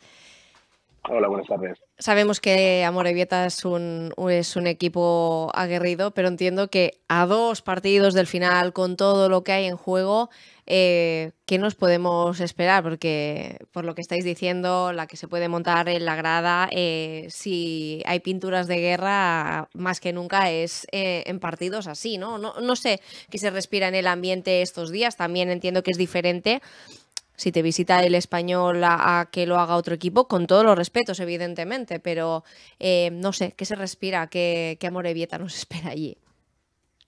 Pues aquí hay muchas ganas, ¿no? Y también el equipo tiene mucha confianza en sí mismo, pues porque viene haciendo una segunda vuelta bastante interesante y, y consiguiendo resultados muy, muy positivos, ¿no? De hecho, a, ayer comentábamos con, con, unos compañeros que si bien el español lleva 14 jornadas invicto, eh, en esas mismas 14 jornadas la Morevieta ha sacado un punto más que el español, ¿no? Uh -huh. que, o sea que para que os hagáis un poco la, la idea de, de, cómo puede ser la progresión y desde luego esta Morevieta de, de Jandro no tiene nada que ver al que os encontrasteis en, en el inicio de, de liga y en, en, vuestra casa. Es un equipo que combina mucho más, que quiere tener mucha más presencia con, con la pelota, que sigue manteniendo sus señas de identidad, que, que, sigue llegando mucho por banda, que busca muchos centros remate y que también es muy intenso, pero también le gusta mucho ahora eh, tener protagonismo con, con, la pelota y de hecho es uno de los equipos que más tiempo pasa con, posesiones en campo contrario, ¿no? Un poco para que os hagáis un poco la idea de, del planteamiento que puede presentar este Amorebieta. -huh. Y viendo esa evolución que, ha mostrado Amorebieta, eh, ¿ha cambiado vuestra opinión o vuestra visión respecto al español? O sea, ¿qué habláis allí en las tertulias? Porque sí, viene el español y todo lo que se pueda montar, pero más allá de la necesidad, de esa ilusión, eh, ¿qué se opina allí de, del español?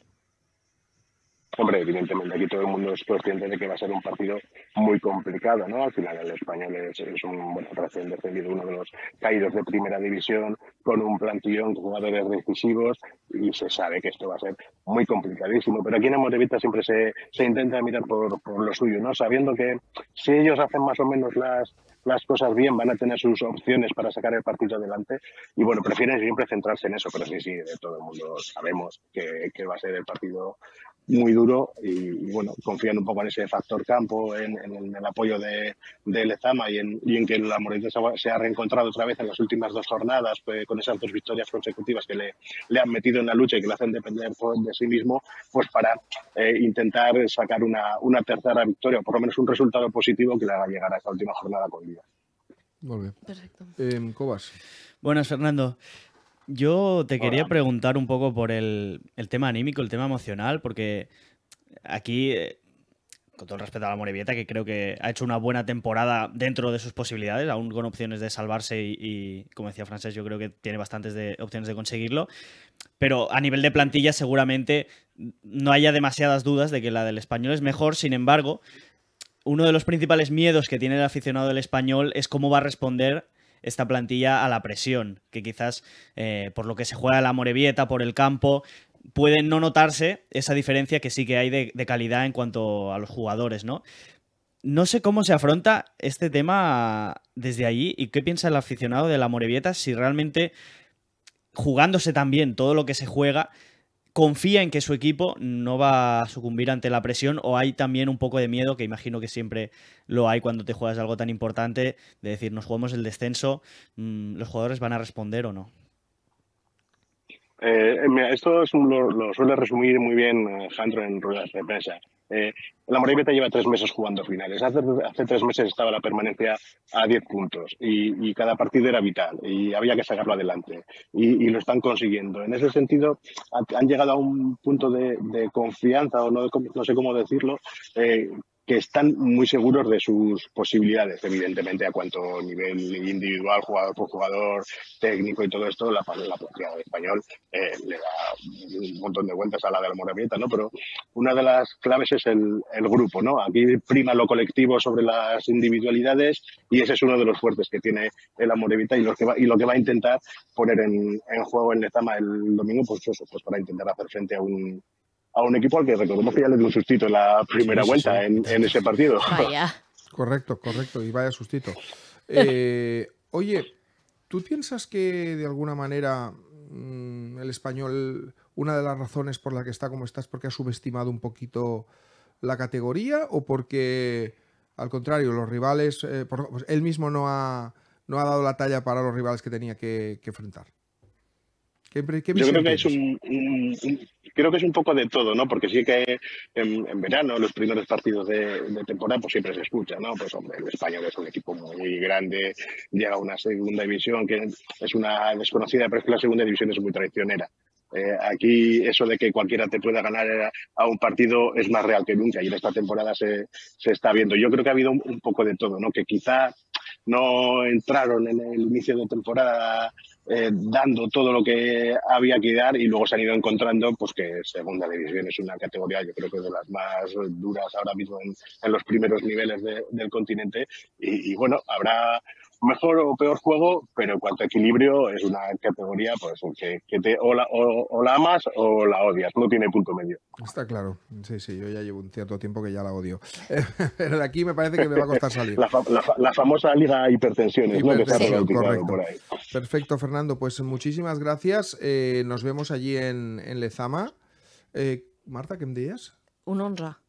Ah, un 11, sí, sí, exacto, nos dejábamos sí. el 11, es verdad, antes de ir. A ver si tenéis, no sé, aparte algún tocado, alguien que llegue un poco justillo, que esté en duda, o si ya tenéis muy claro cuál puede ser el 11 del domingo. Pues para este domingo yo creo que, que Sandro va a recuperar la, la línea de 5 con tres centrales. Tengo esa sensación que va a intentar, pues eso, sabiendo el peligro que tiene el español en ataque, estar un poquito más guarecido. Y yo creo que la, la alineación probable puede ser con, con Yomi Maguna Goitia en portería, lateral derecho Álvaro Núñez, los tres centrales para Agustinza, Cheita y Gallá, lateral izquierdo será Dani Lasure.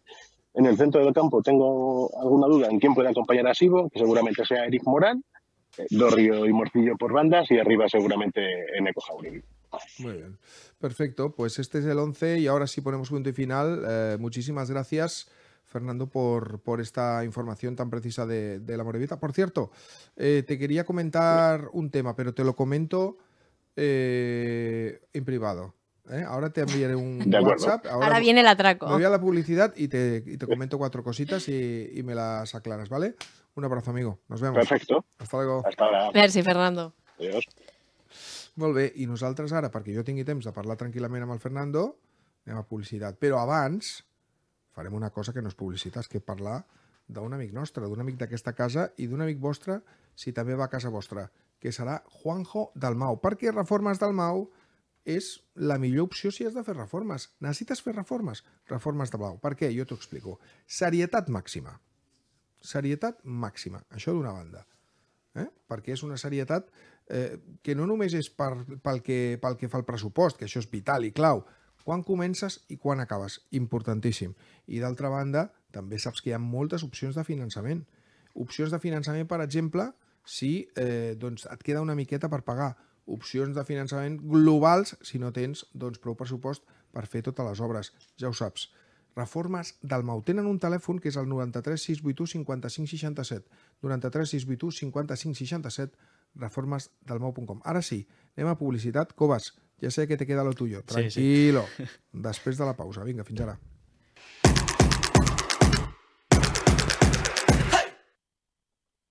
Necessites canviar el teu bany, la teva cuina o fer una reforma integral de casa? Estigues tranquil. Deixa-ho a les nostres mans. Reformes del Mau, 646 760 013. Et garantim per escrit la data de finalització i el pressupost acordat. Reformes del Mau, 646 760 013. Visita la nostra pàgina web reformesdelmau.com o la nova botiga a l'Avinguda 305 número 2 de Castelldefels. I si truques de part de la grada, visita i pressupost gratuït. Reformes del Mau, 15 anys d'experiència al teu servei. ¿Buscas local o asesoramiento inmobiliario? Confía en Ferran, más de 45 años de experiencia en el sector inmobiliario. Ferran, especializados en locales comerciales con un servicio personalizado adaptado a las necesidades de cada cliente. Ferran ofrece oportunidades de inversión y servicios de arquitectura, corporativos, jurídicos y de gestión de patrimonio. Ferran, teléfono 936 004 800 o su web ferran.es. Ferran, el mejor servicio para el mejor cliente. Nou Sumape, la teva botiga de petit i gran electrodomèstic al cor del Penedès. Més de 1.000 metres quadrats on podràs trobar tot el necessari per a la teva llar i també mobiliari de cuina i sanitaris pel bany. Ens trobaràs de dilluns a dissabte al polígon industrial Clot de Moja, a la sortida Vilafranca Sud de la Nacional 340. Nou Sumape, tot per a la teva llar al millor preu. La Decana, en el centro comercial Diagonal Mar, planta 1, local 1030. La Decana, si cierras los ojos y te imaginas que todo es posible. La Decana, si la buscas, la encuentras. La Decana es tu suerte. Para ventas online desde cualquier punto, loteríasladecana.es.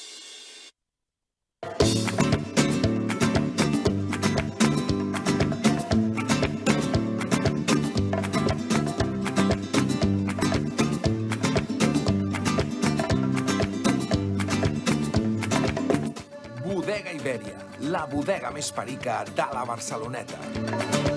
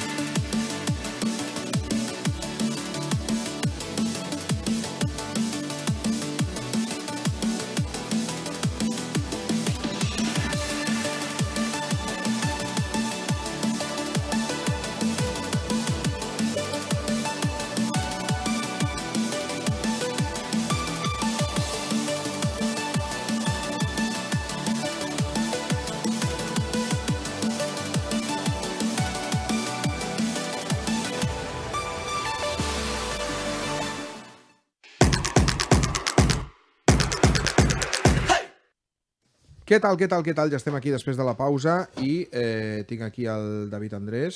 Com esteu, Francesc? Ambició Perica. Exactament, tenia ganes de tornar, esperant una mica un miracle, no? que pugui donar-nos una oportunitat a l'última jornada. Encara, encara, jo encara confio, eh? d'arribar a l'última jornada amb una mica d'il·lusió, encara amb una mica d'esperança. En tot cas, ja pensant en el playoff, ja pensant en que serà molt dur, uh, de que serà molt complicat, però crec que, crec que tenim opcions, crec que al final doncs, necessitam una victòria i amb ganes de, de, de saber ja què passarà amb aquesta temporada per poder parlar de què ha de passar amb el nostre club post eh, segona divisió, que és, jo crec que ha de canviar ja la propietat, que s'han de fer canvis en la gestió, perquè ara mateix estem en una situació mm. doncs, eh, que ens ho arriben a dir fa uns anys i ningú s'ho hagués cregut.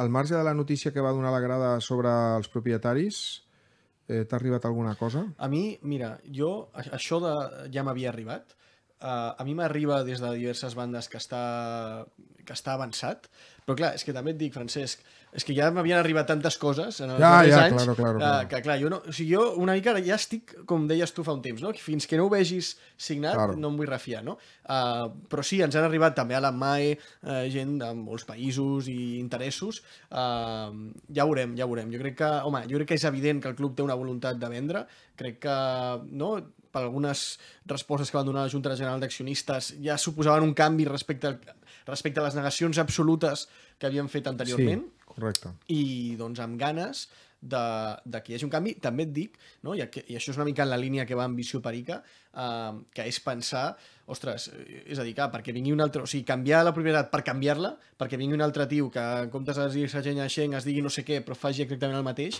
doncs Clar. segurament arribarem a la mateixa situació. El que s'ha de canviar és el model de gestió, no tant la persona que dirigeix el club, eh, perquè crec que aquest model de gestió, i ho hem vist en totes les persones que han fet un model de gestió com el de Chen arreu d'Espanya, no? que al final acaba sent un fracàs sempre. Però Està arriben clar. coses, arriben coses, Està a veure si és veritat. clar. A veure què passa. Senyor Jack? Portes els papers rebregats aquells del primer dia que sí, ja i no... porto més papers. Més encara? Sí, home, són perfectament vàlids els papers. Del... Ja vaig dir fa tres mesos que no perdíem cap partit més. I, i, i jo no em vaig equivocar, eh? El que s'ha equivocat és un altre, en tot S'ha cas. equivocat l'espanyol, sí. Sí. No, de totes maneres, aquells papers em portaven a acabar tercer, eh? Sí. que és el que ara firmaria ara mateix, eh? acabar Sí, tercer. Però sí. firmaria, vamos, a ulls tancats, eh? Firmaria Vale. acabar tercers, que és el millor que podem aspirar Lo amb millor una que certa podem lògica. aspirar. Una... I no Sí. serà fàcil, eh? Però, bueno, ja, ja, ja veurem. Jo crec que acabarem quarts. Però, per Creus tant, que acabarem quarts? Sí, clar. El que diuen els càlculs diuen Després això. anem als teus càlculs. Sí. Vale? Aitor Jiménez, com estàs? Bé, bona tarda.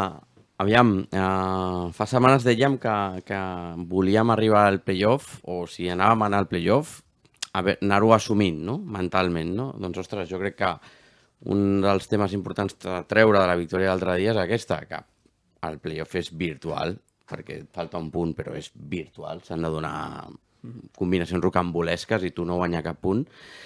I jo crec que, home, doncs, en, en certa manera, on- d'on veníem, ara estem més o menys on volíem estar, i és que playoff pràcticament assegurat i tens dos partits per millorar la imatge que estàs donant, a, sobretot en atac en, en els partits, no? i especialment en, en els partits a casa, i tens l'oportunitat també d'arribar amb aquesta moral aixecada amb, per, per, a, per a aquests partits tan importants. No? Per tant, bueno, dintre el que cap, doncs hem de dir que estem on volíem.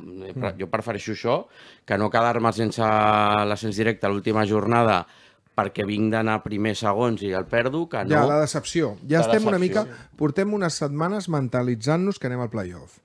Que el més normal és que anem al playoff. Això és important, eh? Perquè, clar, tu ha- haver d'afrontar un playoff estan pensant setmanes abans que pujaves segur i t'emportes el Digue- xasco i llavors has d'anar a fer una semifinal i una final. O sigui, Digue-li ara és- al Lega o al Valladolid que un dels dos va al playoff. Perquè et diria que l'Eibar sempre ha estat allà, però, però digue-li al Lega o al Valladolid que van a playoff. Ostres, doncs jo crec que com a mínim aquesta feina mental, emocional, doncs crec que ja l'hem anat assumint, inclús els jugadors, Mm. tot i que bueno, molts segueixen creient que està bé, que em sembla bé, i aquesta és l'actitud, però crec que estem on, com a mínim on volíem en aquest sentit, per no endur-nos el xasco final, Clar. que hagués sigut Per això, letal. per això molts cops acabaven pujant, no? els, i veiem els play-offs dels darrers anys, a vegades acabaven pujant aquells equips que han aconseguit Sí. anar al play-off a les dues darreres jornades Sí. perquè estan absolutament lliberats, perquè no tenen res a perdre. No? En canvi, si tu ets un equip que has estat tota la temporada pensant en ascens i a l'últim moment eh, sembla que ho pots perdre, no? llavors tens molta més pressió. I jo crec que aquesta pressió una mica ja ens l'hem hem, ens l'hem anat traient perquè, per desgràcia, doncs hi ha un missatge de que, bueno, o sigui, l'opció de no pujar ja és una opció que està instal·lada a l'ambient. És una opció que està instal·lada a l'ambient. Directe, segur. I eh, llavors sí, sí. Mm. Claro, ens ha pujar pel playoff, val, val també val, eh? Però, Sí, i, i, Per i el femení t'ha donat una pista, t'ha donat un, un missatge... Si és tercer, no has de fer res especial, puges. És a dir, sé que puja el sisè, sí, sí, sí, però jo vull ser tercer. Ja. I si sóc quart, esperar que el sisè es carregui el tercer. Que llavors tinc, tinc l'altra vegada la- la- l'avantatge jo. I com molt bé dius, ei, que des de que tu vas dir no hem perdut. No, I no això, perdut. eh, Ni perquè es parla molt de com juguem, de que no estem a l'alçada, evidentment, eh? M'agradaria que el meu equip jugués molt millor del que fa i em demostrés molta més seguretat, tant defensiva com en atac. Però, ostres, no ens guanyen. Vull dir, ja hem anat a camps que tothom deia que algun perdríem i no hem perdut. És veritat que no hem guanyat el que necessitàvem, això és, és la realitat. Però tampoc estem perdent. I en un partit molt dur en la primera part, li dones la volta i aconsegueixes superar-lo. Et quedes amb un, amb un home menys a Valladolid i no perds.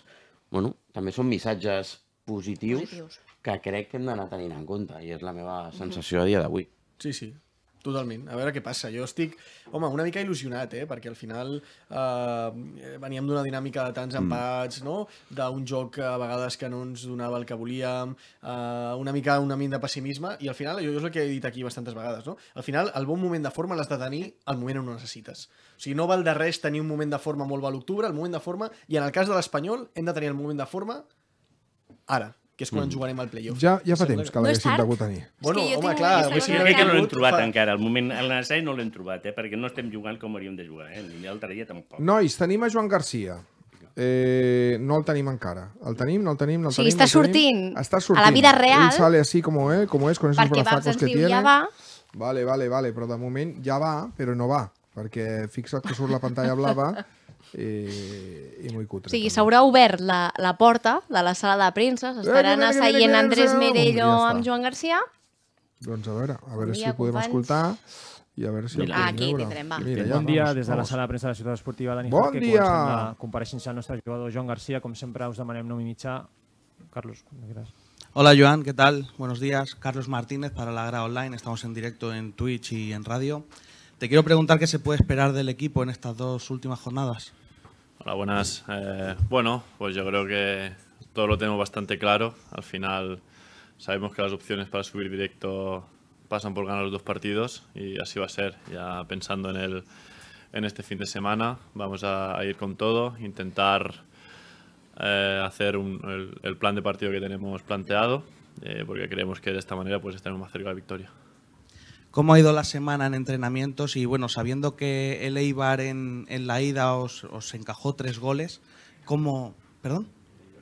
Ay, perdón, el Amorebieta, Sí, perdón, sí. disculpa, el Amorebieta os encajó tres goles. Dos goles. Eh, ¿Cómo habéis preparado durante la semana pues para poder revertir eso? Y sobre todo, ¿qué es lo que os parece más peligroso de, por parte del rival?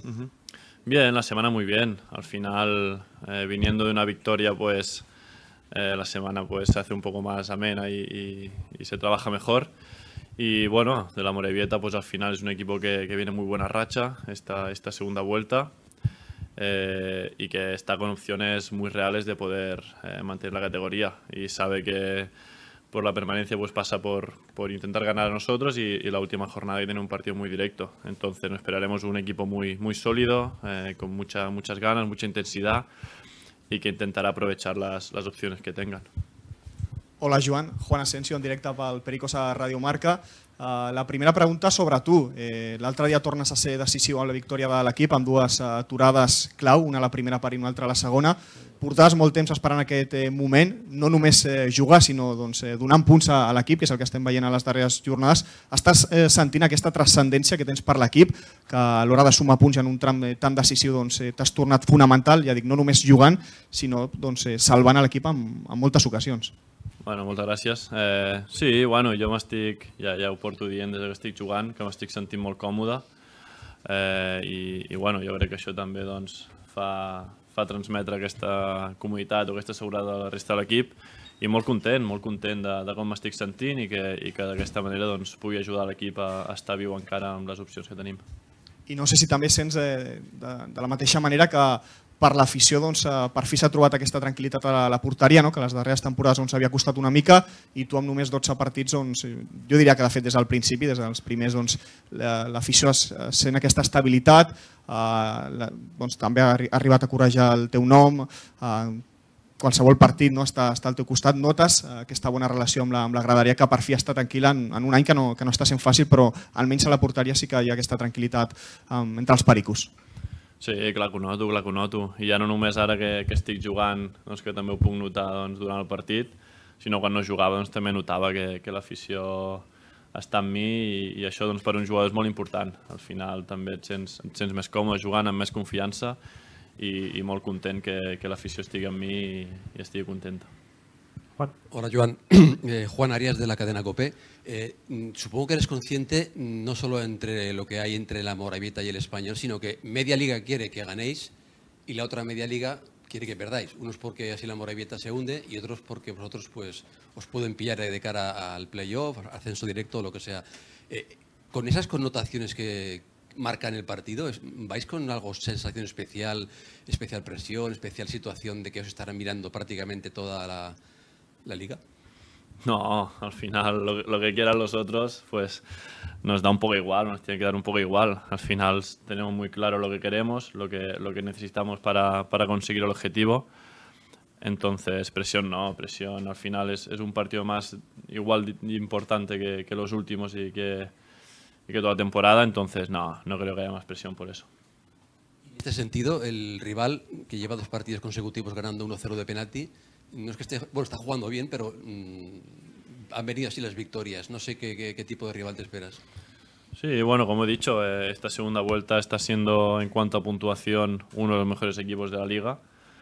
Entonces, bueno, la segunda división es así. eh, intentar aprovechar las que tengas. El Amorebieta pues, es un equipo que defensivamente son muy duros, son fuertes, tienen muy claro cómo, cómo defender.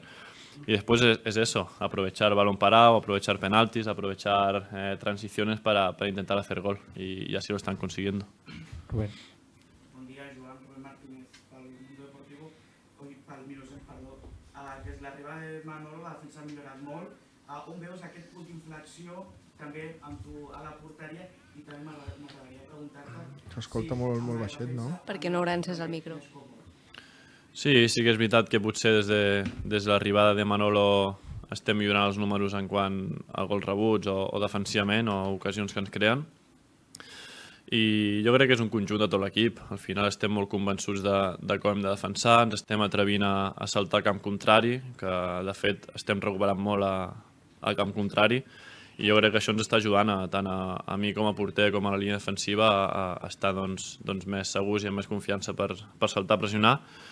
I sí, eh, evidentment amb la defensa, i, i bueno, no, no és només la defensa, és tot l'equip, m'estic sentint molt còmode, eh, ens entenem molt bé i, i espero que segueixi així. Eh, queden dos partits, Morevieta i Car- Cartagena, però no sé si des del, des del vestuari veieu la possibilitat de jugar quatre partits més i jugar el playoff, com ho veieu?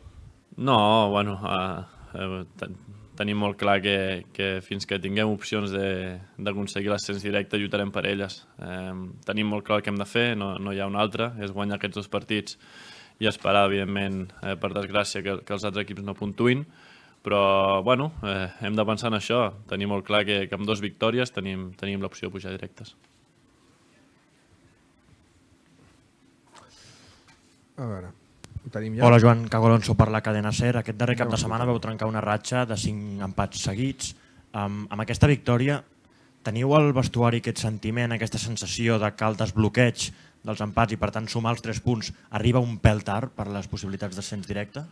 El desbloqueig. Bueno, eh, sí que és veritat que, que tothom haguéssim volgut que, que aquesta victòria arribés algunes setmanes abans, sobretot pel que dius, doncs, per les opcions que, que ens donaria per aconseguir l'ascens directe, però bueno, al final s'ha donat així, hem puntuat els altres partits, hem aconseguit guanyar aquest i, i això ens manté en vida. Eh, tenim molt clar que, que doncs, per, per la confiança també ens ve molt bé guanyar el partit per, per afrontar aquestes dues setmanes de, de la millor manera possible. Molt bé, companys. Moltes gràcies, ho deixem aquí. Molt bé. Perfecte.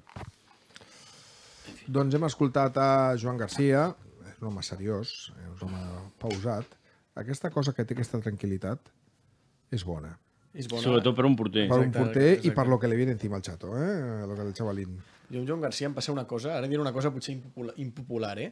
però a vegades quan fa aquests partidassos o quan salva tantes, jo penso, ostres, ja podria alguna, alguna d'aquestes entrar perquè, uh, no? O sigui, fer unes actuacions tan espectaculars uh, cada partit i tenint en compte que l'Espanyol no té massa jugadors que tinguin marcat, doncs crec que posa Joan Garcia a la rampa de sortida. Per desgràcia, seria una llàstima, perquè jo crec que és un porter... És a dir, és un porter que en un bon espanyol, en un espanyol ambiciós, en un espanyol que estigués a primera... En, en l'espanyol que volem seria un porter per estar-hi 10 anys i per ser el nostre porter.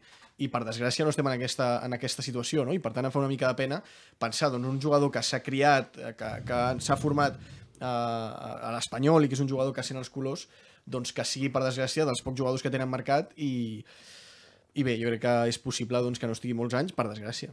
Jo veig Bueno, així. bueno, però escolta'm... eh, Tant No, de no, bo, tant de bo, tant de bo. tant de bo tinguéssim més és. jugadors en mercat, eh? Tant de bo, sí, eh? sí, sí, Perquè sí. voldria dir que l'equip té un altre nivell del que Primera, exacte.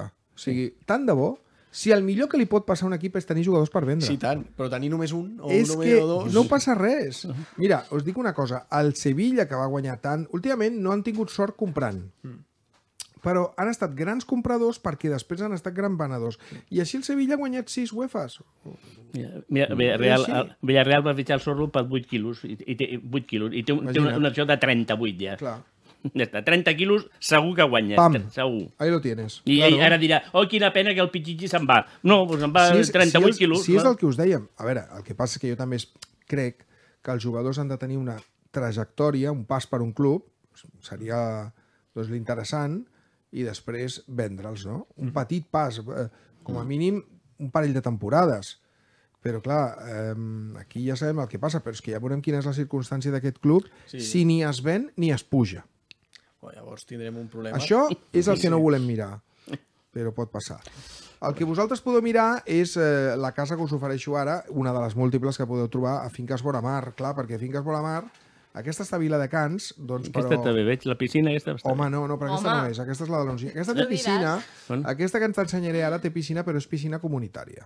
Eh? És piscina Bueno, comunitària. Home. eh, si comencem a baixar ja, clar. No, eh, però és que és molt xula, Bueno, tu eh, que tens aquesta. molt quartos. Està Bueno, bueno, bueno, eh? va, va. Aquesta és molt mortal. maca, tot Va. nou, tres Va. habitacions, ascensor, tot, tot. Bueno, espectacular, una de les millors zones de Viladecans i ja ho sabeu, pot ser una opció bona per tu si estàs pensant a deixar la ciutat, mirar-te doncs, alguna cosa doncs, en aquell triangle d'or que diem sempre, Gavà, Viladecans, Castelldefels, i allà tens aquesta casa absolutament, aquest pis, vaja, absolutament equipat, que a més està força bé de preu. Però és només una de les opcions que tu pots trobar a fincasboramar.com, que tenen un telèfon 636 947 114 636 947 114 Finques Boramar. Ok, doncs això ja ho tenim. Eh, va, vols mirar Ah, alguns, ja alguns números? Ensenya'm alguns números, va. Bueno, no, de clar, bueno, teòricament... eh, Són els de l'esperança? Són els meus càlculs. Jo, jo dono els 6 punts a l'Espanyol que queden, i- però clar, el problema és que tot i així no arribem. Eh, tot i així eh, quedem per sota del... Bueno, evidentment, molt per sota del Lega i el Valladolid, si no fallen molt, i un punt per sota de l'Eibar. Vull dir, jo crec que la, la, la meva esperança ara mateix, vull dir, ser realista, està en que, en que l'Eibar tregui, no, no, no guanyi, un, no, un, perdi un dels dos partits que té. Ha de, ha de visitar l'Sporting, jo li vaig donar una X, si és un 1, doncs ja amb això, ja teòricament nosaltres agafem l'Eibar i passem davant i quedem tercers, que ja et dic, firmo ara mateix. Eh? Ara, perme- permeteu un petit sarcasme, eh, per un moment he estat, he estat acollonit, si te permet l'expressió, perquè ara estic pensant, ara, diumenge jugarà Bellingham, Vinícius, tots aquests jugaran contra nosaltres diumenge o no? Per què? Per què? Perquè m'he acollonit amb, el, amb el- la Morevita. Perfecte, em va molt bé que diguis això perquè justament estàs fent una de les coses que irrita més a un amic meu, el Joan Camí, sí.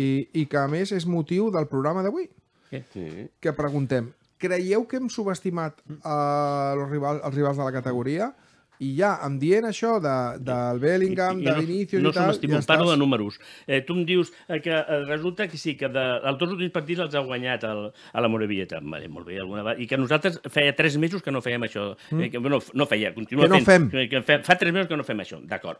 Vale, però clar, mirant, bueno, llavors jo, mirant això dic, hosti, és veritat, anem a veure aquesta Morevieta. Clar, després em trobo que de seguida, l'últim mes, aquesta Morevieta ha perdut 5 a 0 amb l'Eibar i ha perdut 0 3 amb el Valladolid. Llavors dic, bueno, anem a mirar més enllà. Allà. Llavors resulta... Cuidado que el 0-3 del Valladolid és enganyós, eh? Sí, sí. Perquè va haver una expulsió... L'expulsió amb 0-0. Eh, I a més el partit que estava bastant controlat per la Morevieta. Sí, sí, vale, vale. Però jo, jo, jo no, no em fio dels partits, jo em fio de tots els partits, és el que a mi, a mi em diu. La, les ratxes, no, tots els partits. Resulta que dels sis equips que estan ara davant de la classificació, que segons els meus càlculs seran els sis que pujaran directes i faran el play-off, els sis mateixos que estan ara, i crec que el mateix ordre que estan ara, per desgràcia, Eh, L'Eibar ha jugat, eh, menys en l'Espanyol, i ha jugat amb tots. Per tant, ha jugat 11 partits. D'aquests partits, 33 punts, sabeu quants punts ha fet el, perdó, l'Eibar, abans, a la Morevieta? D'aquests 33 punts possibles, quants ha fet?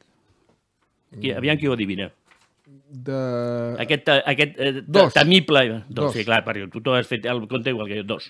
Dos. Per tant, No, al- mirat, no, no, no mires res. a la nostra, a la lliga que ens, a, amb la lliga amb la que ens hem de comparar nosaltres, a l'Eibar de 11 partits ha perdut Morevieta, 9. la Morevieta. Ah, la, perdó, l'Eibar tot el rato amb l'Eibar, és que té més tradició. Eh, D'aquests 11 partits ha perdut 9 i ha fet dos empats amb l'Oviedo. Eh? Ha marcat 5 gols, un sol a casa, i han queixat 25. Per tant, eh, parlem en sèrio. No hay más preguntas, señoría. Parlem en sèrio, nosaltres hem de guanyar a Eibar, hem de guanyar bé i prou. I si, i si, i si, i si nosaltres tenim pressió per veure Sí, sí. si som tercers o quart al play-off, imagina't la pressió que han de tenir ells per saber que se'n van a, tercer, a segona B. Imagina't la pressió que tenen ells. Nosaltres no tenim pressió per veure si som tercers o quarts al play-off, que és la, la realitat és aquesta. I ells, en canvi, saben que si perden nosaltres tenen el 99% de possibilitats de jugar a segona B l'any que ve. Doncs dieu-me si la pressió és nostra o seva. Totalment, totalment. Jo Doncs crec que no, estic d'acord amb tu. no hi ha cap mena de dubte. Vull dir, s'ha d'anar a guanyar i tot el que no sigui guanyar i no enfocar-ho d'aquesta manera, evidentment, els, els partits passa el que passa, però tu has d'anar a guanyar i no, no hi ha una altra opció. Sí, jo, jo sobre la pregunta que deies, Francesc, eh, jo no crec que tant, jo no crec que hem subestimat a ningú, sinó que ens hem sobreestimat a vegades nosaltres. Estic d'acord, totalment d'acord. eh, Perquè al final, a veure, la categoria de la segona divisió hi ha Mm. equips que són equips molt fluixos comparats amb l'Espanyol. Correcte. I per això hem vist, veiem on està el Leganés i veiem on està el Valladolid, que si mirem plantilla, mirem els partits que hem tingut contra ells, no són equips superiors a nosaltres o de manera clara superiors a nosaltres. I per tant, nosaltres hauríem d'estar allà. Um, però sí que crec doncs, que hem perdut punts de manera uh, doncs, segurament uh, tonta no? en molts partits perquè ens hem pensat a vegades que només amb l'escut pujàvem i que només no, som l'Espanyol, nosaltres, eh, com som l'Espanyol, pujarem una mica a vegades amb la gorra, no? I, i, i doncs eh, anàvem guanyant aquests, eh, anàvem, anàvem perdent punts. I Però qui s'ho creia, això? No, qui s'ho creia, això? Doncs els jugadors. Ah, I el- vale, els vale. jugadors, No, no, no, que està bé que puntualitzem, perquè el- no, no, com no que, nosaltres. Ah, però com que ens jugadors. incloem, Sí, que sí. molta gent encara pensa i té aquest discurs que tenim nosaltres, en general, aficionats i premsa, la potestat de eh, marcar gols o, o impedir-los. No, no. Els jugadors, i que els jugadors han tingut, quan deia que ens hem sobreestimat, és, és perquè jo crec que aquí sí que nosaltres, com a afició, durant l'inici de temporada pensàvem que el nostre equip tenia un nivell superior al nivell que ha demostrat. I que els nostres jugadors tenien un nivell superior al, al nivell que ha demostrat. I que els, els nostres jugadors han comès errades, errades individuals no de manera esporàdica, sinó de manera reiterada, que nosaltres no ens esperàvem i que els han comès. I per tant hem, hem sobreestimat la nostra capacitat de competir en molts partits, sobretot, jo crec, en l'època de Ramis, que era quan teníem el tram més fàcil de la temporada, hem sobreestimat que l'Espanyol trauria punts. Els equips són fluixos, i jo no vull dir...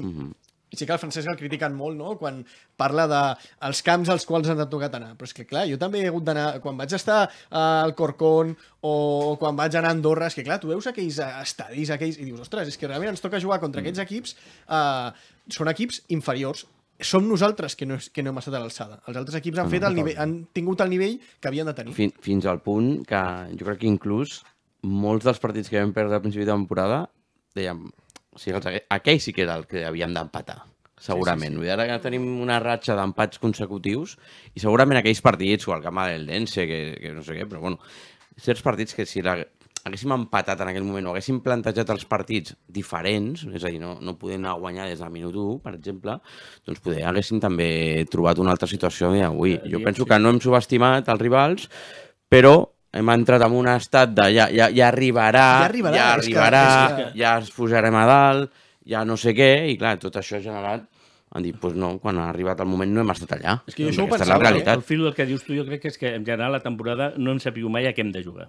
I així, així, així ho demostra que han tingut tres entrenadors. Sí, clar. sí. Llavors no sabíem eh, el, el, que per guanyar o, o no perdre com a mínim a segon, aquest camp, què hem de fer avui? Bueno, no estava clar. Eh, bueno, hem d'anar a guanyar, Vull sí, dir, però bueno, en el en- moment a- que estem perdent ja no sabem què fer per remuntar. En el moment que, que nosaltres hem fet plantejaments pensant en el rival, vull dir, ja és perquè dubtes de tu mateix. No, no tant en respecte dels rivals, no? Quants plantejaments hem vist que, sobretot a l'era Ramis, Sí. o inclús algun, ara me'n recordo del Villarreal B, sense anar més lluny, amb Luis García, que planteja el partit d'una manera estranya quan, quan poder no cal, que és el rival que s'ha de preocupar per tu. I, I ara no vull anar contra No? la meva És el- tesi anterior, però nosaltres, si, si no pugem, que, i no pugem directe, que no pugem segurament, no serà pel que hem fet contra els suposats rivals, sinó les, per les tonteries que hem fet contra equips molt inferiors a nosaltres. Exacte. Molt inferiors. Exacte. Molt I aquesta idea, que jo em confesso culpable d'haver-la mantingut tota la temporada, que és el que deies, de esto es muy largo, ja, Sí, no? ja la Lliga ja ens posarà on ens mereixem, que és a dalt, no? I una Ja- confiança en nosaltres mateixos, que al final la Lliga ha anat passant, ha anat passant, i en comptes d'anar cap a dalt, anaven cap a baix. I, No? I... I continuo tenint la impressió de que hi ha molts equips d'aquests que ens han empatat i guanyat, continuo pensant que són molt inferiors a nosaltres. Eh? No, dubte. no és que jo digui ara que tu, el burro ets tu per pensar que el nivell era molt dolent. No, el nivell és molt dolent. Eh? El que tu has, has sigut molt burro de a posar-te a aquest nivell i ser incapaç de guanyar equips que no, no valen per res. Home, és que Aquesta és la realitat. l'altre eh? dia contra l'Oviedo, per exemple, quants cops rematen sols a la nostra àrea? No? Comptant els gols, els gols, els gols anul·lats, sí, bueno. els que van fallar... I a l'altra banda, nosaltres en fem dos gols amb els dos no remats a porta. Eh? Però, però clar, això és una errada moltes vegades teva, de, de no cobrir a un jugador a l'àrea quan ha de rematar. És a dir, que, I que sort- rematin i- i tants sort- cops Sort sols... del bar, sort del bar. Home. Per, per una vegada sort del bar, mira. Sort del Sí, bar. sí. Respectar el rival és donar el màxim Sí. per demostrar que, que tu ets superior eh, tècnica, tàcticament, el que sigui, i és el que molts cops ha faltat aquesta temporada. no, després no perquè sé si ens hem respectat massa, perquè com que, com Ara, van passar una hauríem de fer sense un guanyar, exercici, dius que de no podem una- guanyar. Hauríem de fer un exercici, ara que deies allò de tal, i és una cosa que mm, ja la farem, i potser, mira, ara si tinc aquí el Cobas Ocioso, Cobas, m'escoltes? Mira, anem a fer aquests exercicis, una mica de pal, eh, que fer-ho ara, però a veure si et dona temps de fer-ho. Anem a doblegar la Lliga per la meitat, del, de l'1 al 10 i de Mhm. l'11 al 22. O, de, si voleu, de l'1 a l'11 i, Mhm. no? I, la, i els altres 11. Contra quins equips hem perdut més punts?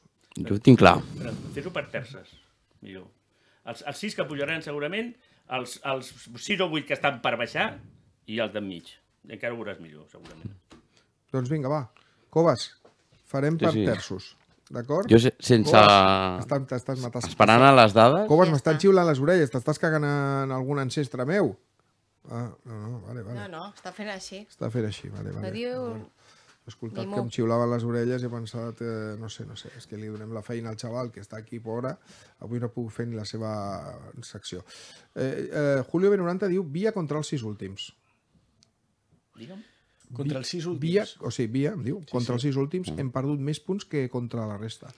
No sé, no sé si és... És que no ho sé, no ho he calculat, no sé. Bueno, contra qui no és segur és contra els de dalt, jo crec. No? És la part intermitja o els últims. Sí, jo, jo crec que de l'1 al 10 segurament estaríem molt a dalt de la taula i tinc la sensació que del 11 cap al 22... mm, Mig... És que només així, a Ojímetro... No arribem ni a exemple, playoff. Amb el Leganés és amb el que més punts hem, eh, punts hem perdut. Amb el Valladolid hem perdut dos punts. Amb l'Eibar hem perdut dos, Dos. punts. Eh, amb el Racing hem, hem perdut Tres. tres. Amb l'Oviedo hem perdut tres. Amb l'Sporting hem perdut... Tres? No, me- Eh, més. cinc, perdona, cinc. Cinc. cinc. Aquest és el que, el que Mm. ens ha tret més. Amb l'Elche hem perdut dos. Amb el Racing de Ferrol n'hem perdut dos. Dos. dos. Amb el Llevant eh, no hem perdut cap, Cap. l'hem guanyat als 6 punts. Amb el Burgos eh, hem Hem perdut 4. 4. Amb el Tenerife n'hem perdut... Eh, Cinc. Allà vam perdre. 5, Cinc. el Tenerife ens ha tret molts punts, eh? Aquell gol traïdor que ens en fica al final. Amb el Cartagena no hem jugat tots els partits encara. Amb l'Albacete vam perdre dos punts, perquè va ser allà, els vam guanyar aquí. Amb el Saragossa dos punts aquí a casa també. Amb l'Eldense n'hem perdut molts, també, 5. Eh, 5. 5 punts.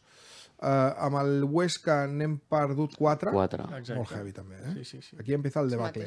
El Mirandés, no? L'hem guanyat als 6 punts. És. Mm. Amb la Morevieta no hem jugat encara. Amb l'Alcorcón n'hem perdut Dos. 2. Allà. Amb l'Andorra n'hem perdut 4. Quatre. Això és el que es mata. Heavy metal, eh? I amb el Villarreal n'hem perdut 3. Sí, això es mata. Tot, tots els equips, teòricament, amb aquests equips havien de perdre 0 punts. Amb- D'aquests que m'has dit últims, eh, amb, no diré tots, però amb 4 o 5 d'aquests equips, que ens han tret Bueno, 3 punts, lo- 4, lo- haurien de fer el 6 de 6. Imagina't on seríem ara. Seríem a primera. Dels ja. 10 últims, l'únic pleno l'hem fet contra el Mirandés, no? Però, per cert, el Tenerife és a qui més punts ens ha tret de tota la Lliga? I a l'Eldense. de l'Eldense. Mm. Bueno, un que ens ha patat... Tenerife i Eldense. Un que eh? ens ha patat i ens ha guanyat. És representatiu, eh? Com, a- o sigui, com a mínim estem igual, més o menys igual. I no hauria de ser igual. Tu hauries de perdre menys punts contra els que estan a dalt. Bueno, no? el, el, Però- el, el, Leganés, el Leganés, Sí, però- també. però Leganés vam perdre a casa i vam empatar allà. Però el Leganés, però mira, però vam empatar allà fent un partit hiperseriós. És a dir, Sí. fem un partit d'un equip... que- O sigui, fent el partit que vam fer contra el líder és un partit d'equip que, ju- que puja a primera divisió juntament amb el Leganés. Jo vaig veure aquí equip... Però, però d'aquests, o sigui, plenos, i ara plenos, només hem fet Mirandés, no? Mirandés i... i Plenos, eh? No, podem I Llevant, fer... No, i espera, Llevant. espera. Podem fer Amorebieta. Mirandés, Podem fer mira, podem fer Amorebieta i Cartagena. Sí. Correcte. En canvi, ningú ens ha guanyat els 6 punts. No, sí, però Ni ens guanyarà els 6 és punts. imperdonable que, que, que, que tota aquesta sèrie d'equips de, de, Burgos, Tenerife, Leganés i Sporting són els equips que ens han tret més punts. No, Burgos no. Burgos no, que vam empatar aquí i allà. 4, però t'ha tret Ens han tret 4. 4. Ja, però Tenerife t'ha tret 5, Mhm. Leganés Que t'han t'ha i tret empatat. 5 Que t'han I el i Dense empatat. 5. i, el, i, i Sporting 5. Bueno, el Sporting, Sporting. I el. El, el, el Dense, que el Dense tregui de, de 6 punts, en treguis un, és, és imperdonable. Vull dir, però hi ha sigut que altres casos que t'han tret dos, tu has de fer 6 de 6 contra, contra molts equips d'aquesta categoria, has de fer 6 de 6, segur, i estaries a primera ja. I per cert, eh, al Malelense recordeu que el punt que li hem tret a l'Eldense l'hem tret als últims Al minuts d'un 99. Penal, eh? Sí, sí, sí. Sí, sí. Que no faltin. No, estaria, estaria bé fer aquest exercici i fer-lo, ara potser és massa feina pel Coves, eh? però fer-lo amb l'any que vam pujar a primera divisió. No, no, clar, ui, ui. I veure, clar, No, sí, hi hauries la diferència abismal. Clar. Aquell que sortia per la porta era el cover. No? Sí, sí, el pobre està plorant, ha sortit plorant, ha sortit plorant. Bueno, és el que hi ha, no? Ara sí he fet moltes coses malament, és evident. Si, si haguéssim fet les coses bé, no estaríem fent aquests càlculs ara. Diríem, bueno, fa 15 dies que vam pujar ja, està, està bé això, eh? Sí, sí, però no és el que hi ha. El que hi ha. És que, és que es dona la paradoxa que, que ostres, eh, hem arribat a aquest tram on dèiem, ostres, haurem d'anar a aquests camps complicats i, i d'on veníem tots pensant que no els competiríem, no? en l'època Ramis, que Sí, dèiem, ostres, sí, sí, és que fora a casa, quan anem a Elx, quan anem a Valladolid, quan anem a Leganés, quan anem a tots aquests camps, Burgos, ostres, és que no, no, veies l'equip que no els competiria. I en canvi, ostres, els has competit i, i I no has, bastant no bé. perdut, I aquí no hem perdut cap partit i, I clar, estem, és com i aquest- estem on estem. Estàs en aquesta sensació estranya perquè dius, ostres, clar, per una banda... Ramis, l'època de Ramis. Allà era l'època de temporada on tu t'havies de destacar pels, pel calendari que teníem. Exacte. És que si tu mires el calendari, l'època Ramis és l'època on els camps que anaves fora molts eren facilíssims, com l'Alcorcón, uh, i a casa, o sigui, era el moment per destacar-te i després ara competir no? en aquests camps més complicats a la darrera part de la temporada, però amb un marge. Tu havies d'arribar amb un marge. I vam arribar amb necessitat de guanyar. És veritat que no hem perdut, però tampoc hem guanyat i per això estem on estem. Guanyar eh? El David Andrés ens explicarà ara una iniciativa d'Ambició Perica, però Mhm. nosaltres abans eh, parlarem del Cheche. Eh? Cheche Restaurant perquè eh, és molt important que tu sàpigues que hi ha un territori on regna el plaer. Un plaer que va centrat no només al paladar, al paladar sinó a tot el benestar global que tens en aquella sala magnífica del Cheche Restaurant. Allà ofici el mestre de cerimònies, el Pedro Moya, que és un xef espectacular, molt perico, i que té un equip eh, bueno, espectacular també, que volen, volen, volen que tu doncs, coneguis l'autèntic plaer en companyia, en companyia de la teva família, en companyia dels teus amics, en companyia dels teus clients. Un lloc magnífic per portar els teus clients és el Cheche Restaurant, on s'hi cuinen somnis a la vora del mar, a la platja de Castelldefels, al Cheche Restaurant. No es pot explicar encara. No es pot explicar encara. No, no, no es pot ojo, encara. ojo, hay una como una sorpresa o Sí, algo. no es pot explicar encara, però eh, només podem dir no, que era una iniciativa propera d'Ambició Perica eh, i que a totes les persones que els hi agradi no, i la iniciativa, que encara poden sumar-se, és ambicioperica.org, no? recordar una mica que és aquesta iniciativa que busca recomprar una part del capital social del club, amb un 5% d'accions que tinguéssim els pericos, doncs ja podríem tenir algun conseller no? al, al Consell d'Administració, podríem convocar eh, assemblees no? juntes extraordinàries d'accionistes, és a dir, que ara mateix tenim un model de club on el Chen Chen Yansheng, no? o qui sigui, té el 99,999% de les accions i per tant seria important que els pericos tinguéssim una part perquè jo crec, i això és una cosa que és important, que va ser un error històric dels pericos vendre totes les accions a Chen, no? perquè ara ens hem quedat sense tenir una, un contrapoder i el, els que operem de la gestió doncs, ho tenim molt clar i eh, doncs, veient els moviments que està fent Chen Yansheng darrerament, com nomenar el seu fill no? i una mica desentendre's de, de la gestió, doncs crec que indica que aquest és el camí que hem d'agafar. Jo recordo eh, que quan va marxar Durant, el titular no? i el missatge que va llançar el club era Chen Yansheng se implicará más en la gestión del club. Sí. ¿no? Este gran empresario ¿no? Ah, pues va a venir y se va a implicar más en la gestión del club i por eso relevan a Durant. Crec que no s'ha implicat, la sensació que tenim és que s'ha implicat eh, molt poc, o la implicació que ha tingut no s'ha servit de res, i per tant hi haurà una iniciativa que properament explicarem, però que jo crec que pot ajudar una mica a esclarir, a esclarir les coses. I avui no, no es diu res, avui no... Si no, no podem dir res, no podem dir... Jo, jo, tinc, jo soy un mandado, jo soy un mandado, jo soy un mandado. Avança. No puc, no puc avançar, però crec que serà una iniciativa potent i doncs crec que la setmana que ve ja sabrem més coses. Bueno. Sí, sí. Però no ens pots dir res, res, una No, M'han dit que no puc dir res. Nos deja el que hype. no No, que- no, no, hype. eh. M'ha dit que no puc dir res. Jo, és que jo me quedo ahora con el culo torcido, no puc eh? dir, no puc dir massa No, cosa, però- però la setmana... cosa la no, alguna, eh? La setmana, la No. setmana que... És una acció potent, però... apreta una mica. Jo el que diria és que la gent... Però serà per, el dia del partit, perquè per això la serà la setmana que ve. Bueno, pues potser té a veure, però el que, el que, ha, de fer, el que ha de fer la gent és... Potser té a veure, potser té a veure. Entrar a ambicióperica.org i pot la gent registrar-se i llavors allà tindrem... Però, però explicareu tot amb temps, no? Explicarem tot amb temps. S'explicarà la- amb temps eh, el que es farà. Sí, ha el que veure la celebració per l'ascens o alguna d'això, tampoc? No, no. No? Ja ho veurem, ja ho veurem. Ja ho veurem. Ah, això, això, la celebració per l'ascens és una altra cosa que s'ha d'organitzar, però el primer que hem de fer és pujar. Clar, a veure si si tenim no, una no, celebració... no, però d'estar organitzat, eh? Perquè, a Si part, no, no celebrarem nada. Aquest cop Però- podríem tenir una celebració com Déu mana, no? Com, no com l'altre cop, amb mascaretes i tots allà... No? Jo crec que aquesta Sí. celebració seria potser. Però no serà el partit entre setmana a tornar a casa del playoff, no? Això no, no? Entre setmana no, cap de setmana. ja ho veurem. Ja ho... Bueno, primer, primer hem, de, hem de veure com quedem a classificació, No, perquè exacte. jo, jo l'únic que espero és el dia de Sant Joan poder, Sí. poder celebrar. Bueno, Però- però, a l'últim partit sí que saps quan és. Sí, aquest sí, aquest sí. Aquest sí. és, clar. No, però és curiós, ara tornant una mica a això dels horaris d'ahir, eh? perquè sí que és veritat que és un tema que, que com, diu la, com va dir la Marta, meritocràcia zero, evidentment, però És increïble. per què abans era entre... se- O sigui, per què aquest canvi que han fet, a què es deu? És a dir, perquè abans no hi havia descans d'una setmana entre l'última jornada i el cap de I el cap de setmana. setmana. Era directament, a jugaves Sí. sí. entre setmana, no? Per què ara ho han canviat, de cop? Perquè la Federació Espanyola No, no, però, però ho a han canviat sense avisar, no? Eh, Perquè els interessa que juguin més a el cap de hay, setmana i no... es lo que hay, ¿no? Bueno, ja, ja. que hay que no hay nada. Que no hay nada, pues pot passar qualsevol cosa. Sí, sí, però bueno, mm, també és veritat que poder, no ho sé, eh, dic, poder si hagués entrat setmana al primer partit, sí que hagués hagut més opcions de que juguessin Martin Mar- i Keidi, no? Sí. Per exemple, exemple? sí. O no? Sí, sí, sí, sí. Sí. No? No ho sé, vull dir, a què es deu aquest canvi? No, no, això era una cosa ja prevista, no? Que fins ara s'havia jugat sempre entre setmana el primer partit i, Sí. i el segon de tornada a cap de setmana, no? Bueno, això és una cosa que ja sabem des de fa un any, quan es posen els calendaris. El problema és que quan t'hi trobes és quan veus que dius eh, no té cap sentit. Bueno, les noies han marcat bueno. el camí. Tu. Sí, no, no, que total, Mira, totalment. dir, perquè elles es van trobar absolutament igual. No, no, totalment, eh? I, i, i no hi ha excusa, eh? Vull dir, s'ha d'omplir el camp igual, eh? O intentar al màxim omplir-lo. Però, bueno, no només era el hàndicap de tornar a la... Aviam si de jugar a la tornada entre setmana, eh? Aviam si el També això que acabem de dir és un altre Aviam hàndicap. si el resultat de l'anada farà que no el clubs, camp. eh? Perquè, clar, vull dir, a mi no, No. em sona, eh? Que ningú posi el crit si al cel resols a quan... l'anada, igual no, no omples després la tornada al camp, tu. Fa 0-3 a l'anada i, Sí, i la però, gent ja no va tant però tothom. tu al no? final, imagina't, al final, si el, contra el Cartagena sí o sí jugava Martín, Sí. no? I tu jugues a l'anada el dimecres, tu no creus que poder és més fàcil convèncer el jugador No, encara que- que... estigui convocat de que vagi dijous i no dilluns? Ja, però això és un tema de la seva... Estan tots cridats als seleccionats L'endemà d'acabar la Lliga. l'endemà, El dia Sí, 3. sí. Sí, clar. Que ja veurem, Tres. si, ja veurem si va Martin, eh? Jo no ho tinc tan clar. Amb la sort que tenim darrerament anirà. Però jo no ho tinc tan clar, eh? Si mirem els jugadors amb els que està competint... Ahir hi havia un, Clar, que... un article molt interessant a, a l'AS Vale.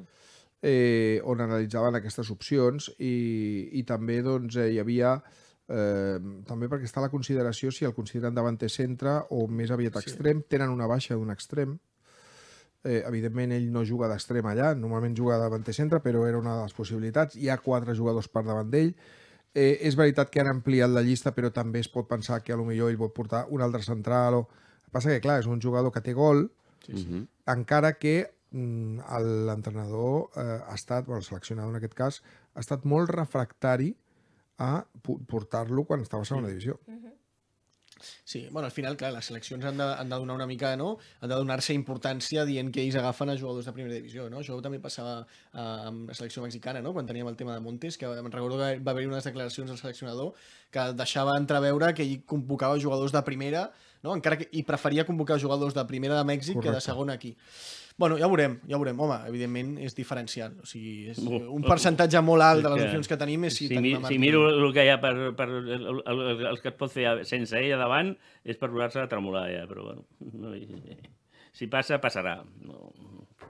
Bueno, i, i que Divaré, vull dir que l'altre dia era va ser indiscutible Sí, també, perquè i una aquest, de- aquest segur que no hi serà, eh? Aquesta, jo us diria una cosa, jo crec que eh, estem molt concentrats en Martin Braithwaite i no estem pensant en el que significa la baixa de Katie. Sí, que vaja segura, aquesta, eh? Aquesta és segura. Sí. Doncs ja veus, l'altre dia va ser titular i no va ser dels pitjors de l'equip, eh? No, i Hi ha gent més- que diu que sí, que és enrere, però si, si fem això, llavors no sortirem en tres a jugar, perquè ningú més ho fa. Doncs clar, eh, és un tio que és important en aquest equip, eh, vulguis o no, dir el nivell, pots discutible quin és, bueno, sí, que no, que sí, dona el nivell, bueno, per aquest equip dona el nivell clarament. I, i, i aquest no jugarà segur el playoff, eh? Aquest no jugarà segur el playoff. Això està I clar. tu vas perdent elements eh, i llavors treus aquesta opció que dius tu, bueno, jo tinc una plantilla àmplia, teòric, teòricament, millor que el Rebel, bueno, si vas descomptant gent, llavors ja no tens tant avantatge, eh? perquè quan comença a fallar gent, llavors veure, quan arribi a minuts 60 o 70 i tinguis a fer canvis, doncs veuràs qui sortirà, eh? No? Si els teòrics eh, suplents han de ser titulars, els, els suplents que queden pues, és el que hi ha. Un altre, per cert, el el Kenneth Soler està lesionat, algú ho sap, això? Kenneth Soler? Sí. No, no bueno, està lesionat. no està lesionat, no? I tothom diu, o entre cometes tothom, que és un home molt important i tal. L'altre dia van sis concentrats del, del no, B ja, i, ja, i ja, no ja. és, eh? Bueno, tinc curiositat perquè doncs, eh, va sortir la notícia, vam donar la notícia La de, que, de la renovació del Kenneth i eh, encara no ha renovat oficialment, però està per a la labor. I la història està en que volem veure també si hi ha un canvi eh, respecte de la política de, de portar-lo per aquest fet. Però vaja, a priori no, no sembla que, que sigui així. Veurem. Bé, eh, escolteu una cosa. A veure, a Morevieta, eh, evidentment no, no és el gran rival que tal, però sabem la circumstància que és tal i sab- sabem perfectament també que evidentment doncs, eh, se la juguen del tot per tot, fan les, aquesta espècie de marea blava que intentaran omplir el seu estadi i tal. Però futbolísticament què pot fer l'Espanyol per guanyar-los? No pensem en hemos de ganar, somos mejores, somos superiores. Anem a baixar una mica un grau més amb l'anàlisi. On veieu la clau per guanyar la Morevieta? Jo, o sigui, és que jo crec que el que ens està condemnant aquesta temporada és les errades individuals. Llavors jo crec que això, en aquest punt de la temporada, és el diferencial. Es digui, sigui la Morevieta o sigui l'equip que sigui. La Morevieta al final és un equip doncs, que no et dominarà, jo crec que l'Espanyol controlarà el partit, um, i per tant el que has d'intentar és no cometre errades individuals en defensa. No cometre errades individuals en Però, defensa un moment, que doni a la espera, Morevieta hem de guanyar el partit. Sí, sí, que Sí, sí. Hem de guanyar el Però és que- partit. però és que Ells jo- han sort, han- sortiran en tres centrals. Més o menys ens ho ha explicat el Fernando. És que jo saps què passa, Francesc? Que jo ara potser estic un altre cop sobreestimant a l'Espanyol. Però jo parteixo a la base que l'Espanyol té suficient talent individual per fer gols a la Morevieta. Jo crec que farem gols a la Morevieta. Però què vol dir que l'està sobreestimant? No, doncs que, No. que, que potser després no, no, hi ha, no, no hi ha aquest talent o aquest Home, talent no apareix sí que com estem veient aquests empats. Però jo dic que el talent existeix i l'Espanyol hauria de marcar gols a la Morevieta. Hem demanar el les tema dues- és hem no, no, demanar no, a les- a les dues àrees, hem demanar a les dues àrees. No regalar-los A la nostra que no es repeteixi la, la tontada de l'altre dia dels córners, perquè a banda d'això dels córners ja no va haver pràcticament res, però els córners van fer molt de mal. Tema. I després tu mirar de xutar a porteria més de dues vegades. Clar, si tu tens quatre ocasions allà, guanyaràs el partit, segur. Segur. Camp petit, intensitat màxima durant tot el partit, eh, intensitat a les àrees, com dèiem, no? Eh, I tant a la i- i defensiva jugar- com a la i- ofensiva. I jugar amb els seus nervis, que I jugar amb els seus nervis perquè... Molts, molts grans que els, més grans que Perfecte. els teus. Si hem de jugar amb els seus nervis, aquí ha de tenir la pilota. És a dir, l'Espanyol ha d'intentar tocar la pilota, ha d'intentar jugar amb la pilota o ha d'estar més, a- més, més aviat a la contra? Ha de tenir la pilota. Ha de marcar gols. A tenir la pilota. Crear algunes... Clar, no, no, no xutar dos vegades no és a porteria, perquè és, és complicat guanyar xutant El- dos vegades el- a porteria. Ho vam aconseguir l'altre dia, La però Morevieta és és complicat, un equip fort amb transicions, però és veritat que, que l'Espanyol en aquest sentit està bastant fort amb transicions. No tinc la sensació de que amb Manolo estem arreplegant bé, eh, jo crec que ens estem juntant bé, per tant, jo crec que l'Espanyol ha de tenir la pilota i, evidentment, doncs, vigilar molt les transicions de la Morevieta, que és on realment eh, Eduards, per exemple, és on et poden fer més mal. Ja, però fixa't-hi, ens hem ajustat bé en transicions defensives. Sí. El problema és que jo a aquestes alçades encara no sé a què juguem. A què juguem, correcte. No, no, no sé Sí, a, no, no, a, sí. en, en què basar Això no, no ho recuperaràs I ja, abans- aquest any. No, una no jugada aquest no. d'atac. Abans- Ja, però això és el Aquest que... any ja no ho trobarem, em això, eh? Abans, abans quan parlàvem de que sí que hem recuperat com eh, l'equip eh, que ha competit en tots els Mm. partits, o inclús a fora de casa, però bueno, jo una de les coses que sí que la carència per mi més important de, des de que ha arribat Manolo, i aquesta és la realitat, també amb Ramis, eh? però, però amb Manolo en particular, és que, ostres, no hem sapigut trobar aquella manera de jugar, especialment a No, no, casa, en tot l'any no hem trobat, on no. pots En realment canvi, fora de casa ens mal. hem sentit més còmodes. Molt, molt, sí, molt però còmodes. clar, ara no n'hi ha prou dir, bueno, treure un bon resultat a Leganés, treure un bon resultat, no, això no, eh? Aquí resultat només hi ha un, eh? Guanyar, eh? No, Mhm. Treure un bon resultat a Morevieta, no conec cap, eh? Que no sigui guanyar. Per tant, tenir la pilota sí, i bueno, i, i, i, bueno, i, i Grajera el recuperem, suposo? Grajera, la història és... O sigui, el pensament és que, és que recuperarem, però no tenim encara constància oficial. Bueno, pues jugarà. Pues, bueno, ha de jugar, és un tio important també, el Miral ni el camp de tenir la pilota. Que corrin ells, ja sé que correran, però que corrin perseguint la pilota, si és possible. Això és el que no hem aconseguit gairebé mai aquest any tampoc, eh? Que el rival pateixi per recuperar la pilota. Això seria molt important. És que bàsicament si, la tenen, si tenen ells... La, o sigui, el que no pot passar és que ells es pensin que ens poden guanyar en un ambient que tenen ells de final, on han mobilitzat tot el camp. Llavors, si, el, si ells tenen la pilota i tenen una mica la sensació de que ens poden fer mal, es generarà un run-run de ojo, ojo, ojo, ojo, Mm. que ens perjudicarà. Nosaltres hem de, som l'Espanyol, hem d'anar a Et dic una cosa, partit. jo recordo la Morevieta quan va venir al nostre estadi amb un equip amb bastant bon tracte de pilota, eh? Sí, però per això, per això No ens és un equip del nord De- de- eh, de seguir. arreón i per arriba, eh? No, d'acord, sí. està molt bé, però no, no pot ser que la jugui millor que nosaltres. Tu. Hem de tenir-la, ser amos del partit Sí, però nosaltres. aquí- Ja, hem però, però, això mai és una, però això és una No, utopia, sí, però ja. no hem mai. O sigui, no sap, però a dia No, no, d'avui no hem sigut aquest mai. espanyol no sap tenir la pilota pues, o no pues, vol tenir la pilota. de fer-ho per- perquè si no, els Ja, dos partits no. contra No, el no, Cartagena, no, que no juga res, també patirem. L'últim dia donem partit que guanyem, però és que no sé si guanyarem. Escolteu, escolteu. No és que no sap, no vol. És que no té jugadors per tenir la pilota. Només té un jugador que és Aguado. Francesc, És veritat. Eh, Aguado i Keidi, i Keidi són els únics jugadors per tenir la pilota. por de- Quan, la, quan la perdem és, és, és, és, no recupera una, eh? És, és tremendo, eh? Però això. que no hi ha ningú amb la suficient... O sigui, és a dir... Qui, però que, qui que té? està Quin jugador tens? No, Quins- perquè tu ara t'estàs jugadors. plantejant quin és el perfil de jugador que pugui assumir la responsabilitat de tenir la pilota, de jugar-la, de distribuir-la. Si Però això ja ho sabem des de principi de temporada, les carències que tenim. El que no puc entendre és que certs perfils de jugadors que han jugat a primera i de més no tinguin la suficient potestat per tenir la pilota Marta, en aquesta però categoria. Una cosa, una cosa, els Per perfils tant, són importants. Tu no tens un perfil. Ni volen ni només, poden. Només tens Ni dos volen ni jugadors... poden. Espera't, només tens jugadors, dos jugadors que volen i que, i que més eh, tenen capacitat. Un és Aguado i l'altre no l'hem anomenat abans de dir Keidi, però Perdona. un jugador que, espera't, que pot jugar si és així és Nico. Nico, és el que jo. Però Sí, digue'm quants més jugadors tenim en capacitat de tenir la pilota. Nico no hi més, Digueu-me ja. més, Marta, enumera'm-els. No. Enumera'm-els, Marta. Fa- Faig una pregunta. És que no, no, no en tenen. No, no, del primer equip no. Ara m'estan dient ja, Rubí Martínez. Claro, si del ja B. vamos al B, però... Especialistes del B. Per què van convocar sis jugadors del B? I pregunto jo el que... Jo no segueixo el B, eh? No, no, no puc. Eh, eh, per què van jugadors convocats del B i el que la majoria de gent diu que és el millor del B no està convocat?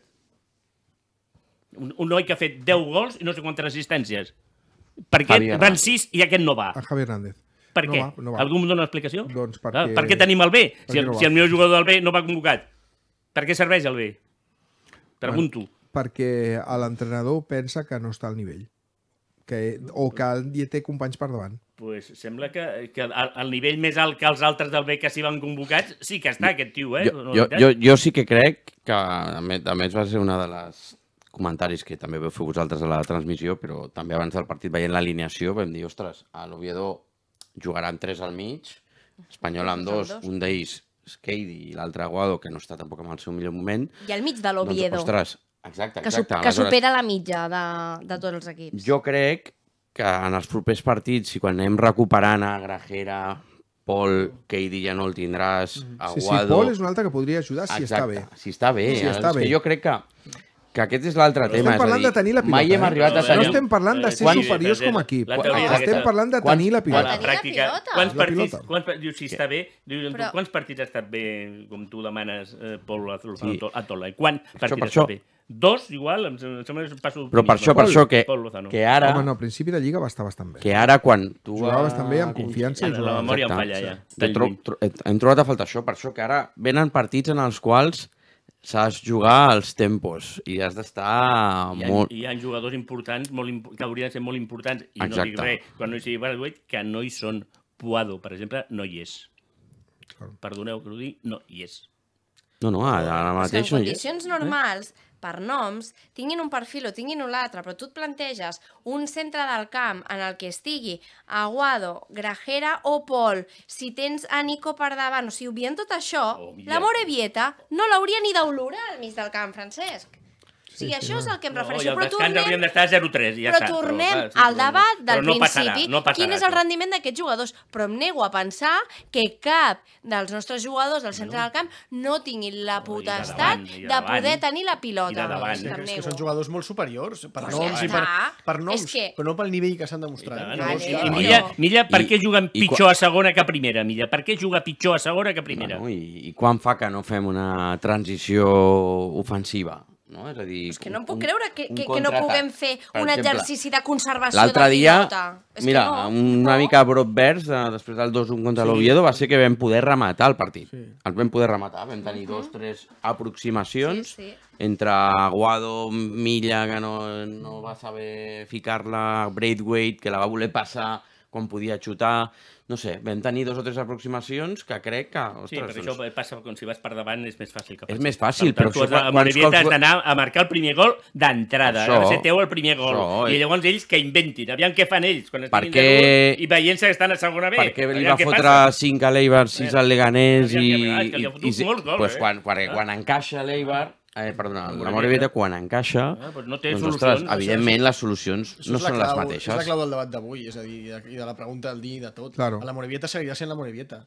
Ah. sí. I ja... i quin espanyol seràs tu, no? I, i l'espanyol, doncs no serà l'espanyol, És que exacte. qui inventa és l'espanyol. al seu nivell, Qui com ha inventa passat és molts dies, l'espanyol, doncs, perquè doncs, l'altre dia, què és el que et dona més sensació de perill? Les centrades que et posa Mm, El Hilali des de la dreta, que és a, a, els ulls aquests que, eh? Aquests expected Em fa, goals, que al final em fa són gràcia ulls. perquè hem començat parlant d'això, la gent deia no, no subestimamos nada, i després llegeix Branco Bernovic diu el, el centro campo de la Morevieta con Pirlo, Kaká y Sidov si da miedo. és que estem, estem en un bucle. Estem en No, un és que és bucle. el que hi ha. és No, que no, estem Estem allà. en un bucle, estem en un bucle. És el que hi ha. Estem Però bueno, en un bucle. És- és- Com ha sigut tota la temporada. A la Morevieta, a camp neutral, segurament, perquè no era el seu, és igual, amb, amb, amb, una, amb un gran ambient que eren 2.000 per, 2.000 persones, no 80.000, i és el que hi ha. És He vist els resultats que han fet amb els equips que estan per, per, per dalt. No, no és un equip de nivell per jugar contra l'Espanyol. No ho és, ho sento molt. I tinc moltes simpaties i tant se salvi i estic 25 anys a segona. Però és el que hi ha.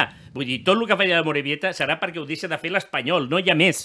No hi ha més. Sí, sí, sí. El Morivi- a la Morevieta no pot guanyar l'Espanyol. A l'Espanyol pot perdre, no crec, pot no guanyar, pot ser capaç de no guanyar a la Morevieta. Això sí que ho crec. Que l'Espanyol pot ser capaç de no guanyar-lo. Però la Morevieta no pot guanyar l'Espanyol per si sol. Eh? No pot ser. Això no Mira, pot ser. Julio 90 diu Via, si els demanes en anglès que vinguin a les 9, en punt, arribaran a les 9 o'clock la puntual gent d'Umixoc. Ole, que bien me l'has quadrado. Pónmelo, Cada va. supera. Pónmelo, pónmelo, pónmelo, pónmelo. Aquest era una mica rebuscat, eh, Julio, tú puedes, tú puedes, hazmelo mejor el próximo. Umixoc, eh, solucions antihumitat. Si tens problemes, eh, doncs, eh, per exemple, amb les pluges que han caigut recentment, amb alguna fuita d'aigua, amb l'impacte de la pluja o de l'aigua sota les seves superfícies que no estan correctament aïllades, has de confiar en aquesta empresa que es diu Umixoc. Solucions antihumitat. Umixoc, ja ho saps, tenen un telèfon, que és el 644 764 478. 644 764 478 umixoc.com és la seva web. Si tens problemes amb la humitat serà perquè tu vols, perquè cada dia jo et parlo d'aquesta empresa 100% professional que a més tenen la millor tecnologia del mercat i a més són superpericos. Ja ho saps. Umixoc! Molt bé. Mm, anem acabant. Anem acabant, que em- m'emprenyeu, em foteu de mal. Bueno, que per cert, no sé si us heu fixat, però les imatges de darrere són del partit contra la Morevieta. Ah, sí? Com ho saps? Perquè m'estava fixant ara i dic, I- ostres, i, doncs... i, po- i surt alguna cosa de la Morevieta? Sí, sí, sí. sí, Oye, sí. pues no lo És- sabía. No, no, un, dos, tres no, no, no m'agradaria, un, dos, tres, eh? Bueno, No, no, però sona- és aquell no, partit, No, no m'agradaria eh? cap manera. Ni És aquell partit. 0-3, no, no, no. Eh, eh, 0-2, va, la porra és meva és 0-2. Estava mirant i dic, ostres, no diria la que és a la Morevieta. Ells no Sí, la sí, poden és que és el tocar partit i no poden pensar Que que tenen una opció. Jo vaig estar mesos pensant-me que era un croma. és, una pantalla. és una fins, Que no, fins que no, No, no, vaig no, no, venir, no, no. sabia que era una, és una pantalla. Ens falta una llum darrere que em foqui a mi, una mica per darrere, llavors es retallaria més la superfície. Per això Mhm. tens la percepció de Donaria croma. sensació de profunditat.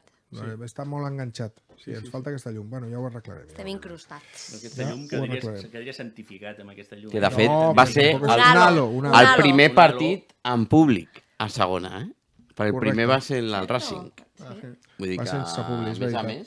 és a dir- Sí, eh, mm, hem parlat poc de futbol, eh? Perquè Sí. com esteu tan sobrats amb la Morevieta, que després ens fotrà... parlar, doncs? I com No. que anem tan sobrats de futbol també, doncs ja ho però tenim tot. M'agradaria que m'haguéssiu dit, per exemple, doncs, alineacions que considereu o el, quin és el centre del camp que hem de formar o qui creieu que pot ser, per exemple, més estilet per banda dels jugadors disponibles. Ah, si Jo, no jo, no, eh, jo, jo, jo, No, no, ja ho parlarem, però és que veig que doneu molt per sentat eh, que la Morevieta, que la Morevieta... No, no.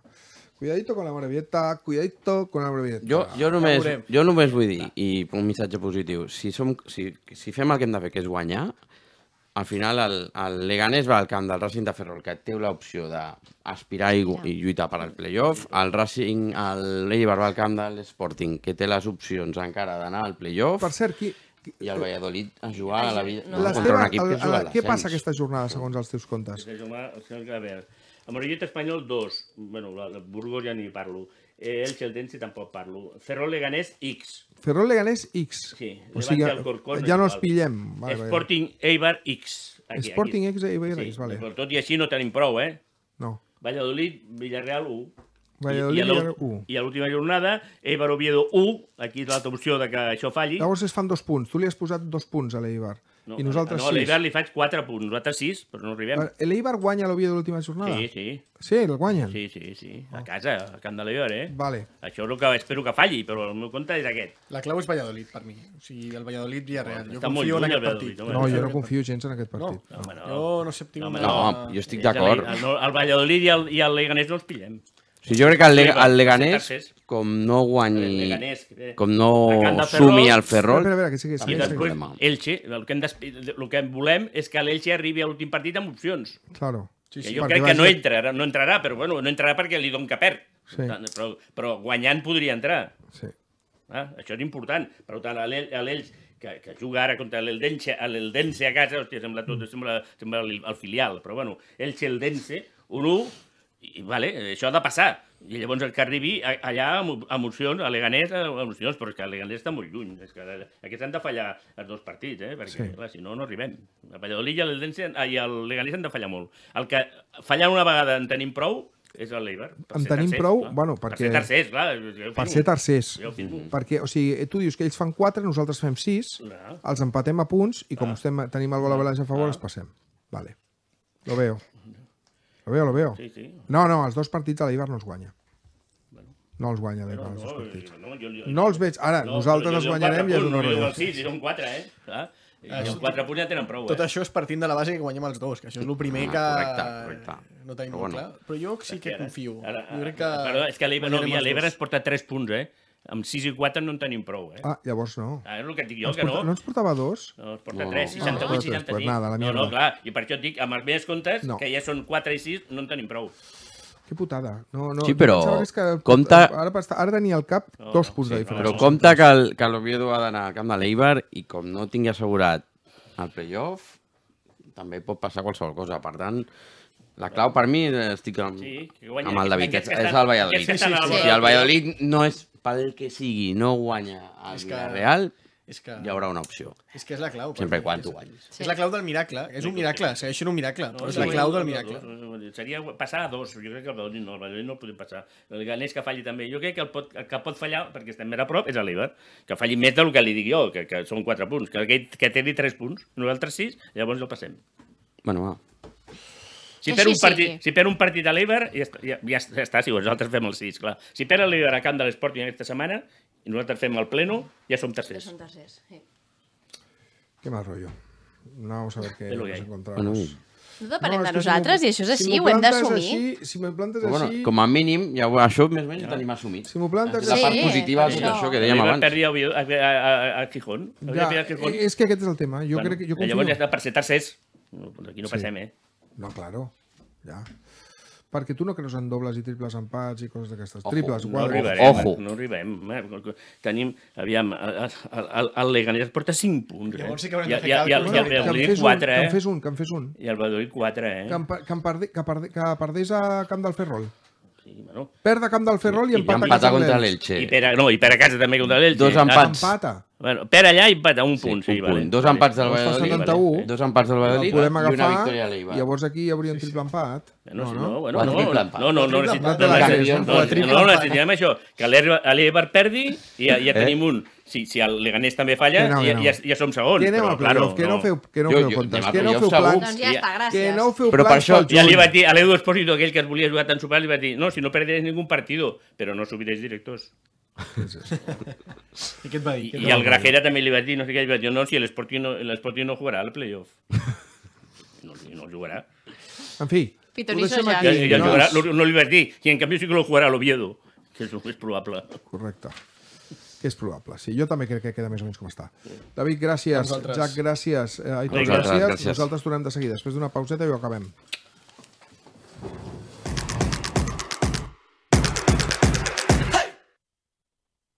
Necessites canviar el teu bany, la teva cuina o fer una reforma integral de casa? Estigues tranquil. Deixa-ho a les nostres mans. Reformes del Mau, 646 760 013.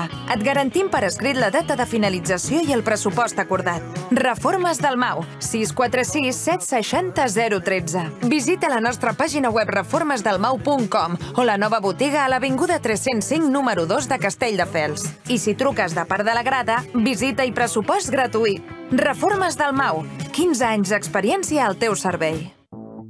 ¿Buscas local o asesoramiento inmobiliario? Confía en Ferran, más de 45 años de experiencia en el sector inmobiliario. Ferran, especializados en locales comerciales con un servicio personalizado adaptado a las necesidades de cada cliente. Ferran ofrece oportunidades de inversión y servicios de arquitectura, corporativos, jurídicos y de gestión de patrimonio. Ferran, teléfono 936 004 800 o su web ferran.es. Ferran, el mejor servicio para el mejor cliente. Nou Sumape, la teva botiga de petit i gran electrodomèstic al cor del. Més de 1.000 metres quadrats on podràs trobar tot el necessari per a la teva llar i també mobiliari de cuina i sanitaris pel bany. Ens trobaràs de dilluns a dissabte al polígon industrial Clot de Moja, a la sortida Vilafranca Sud de la Nacional 340.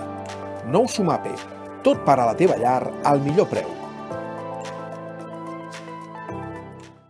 La Decana, en el centro comercial Diagonal Mar, planta 1, local 1030. La Decana, si cierras los ojos y te imaginas que todo es posible. La Decana, si la buscas, la encuentras. La Decana es tu suerte.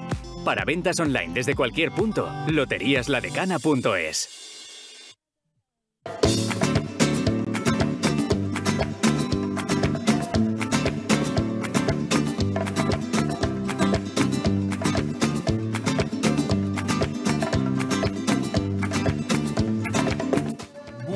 Ibèria, la bodega més perica de la Barceloneta.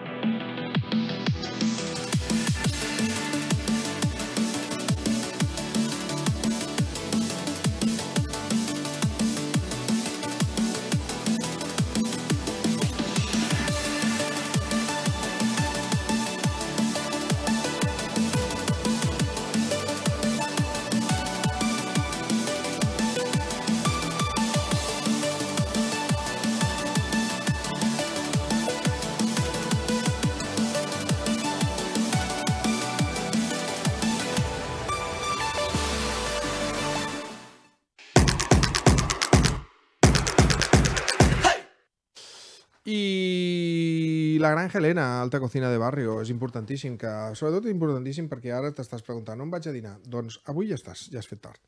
Per què? Doncs perquè estarà ple. Per què? Perquè no has trucat. Perquè has de trucar al 933 32 02 41. Per què? Perquè és molt petit, bueno, no tan petit, però és petitet, i perquè és el millor. No, no, el secret millor guardat a Barcelona. És que quasi me lío. Eh, Granja Helena, que tiene estas delicatessen. Va, pósamela. Uh, qué bueno. Esos huevitos fritos ahí con sobrasada. Uh, ponme otra cosa, ponme otra cosa. Ponme... Uh, los bocatas estos. Uh, aquests son maravillosos. Ponme otra cosa, ponme otra cosa. Uh, no, esto no me va, porque es bacalao. Ja ho Granja Helena, alta cocina de barri. Vinga, va, que el pobre Kowalski avui l'hem fet estar fins al final i no ha pogut dir lo seu. Va, som-hi.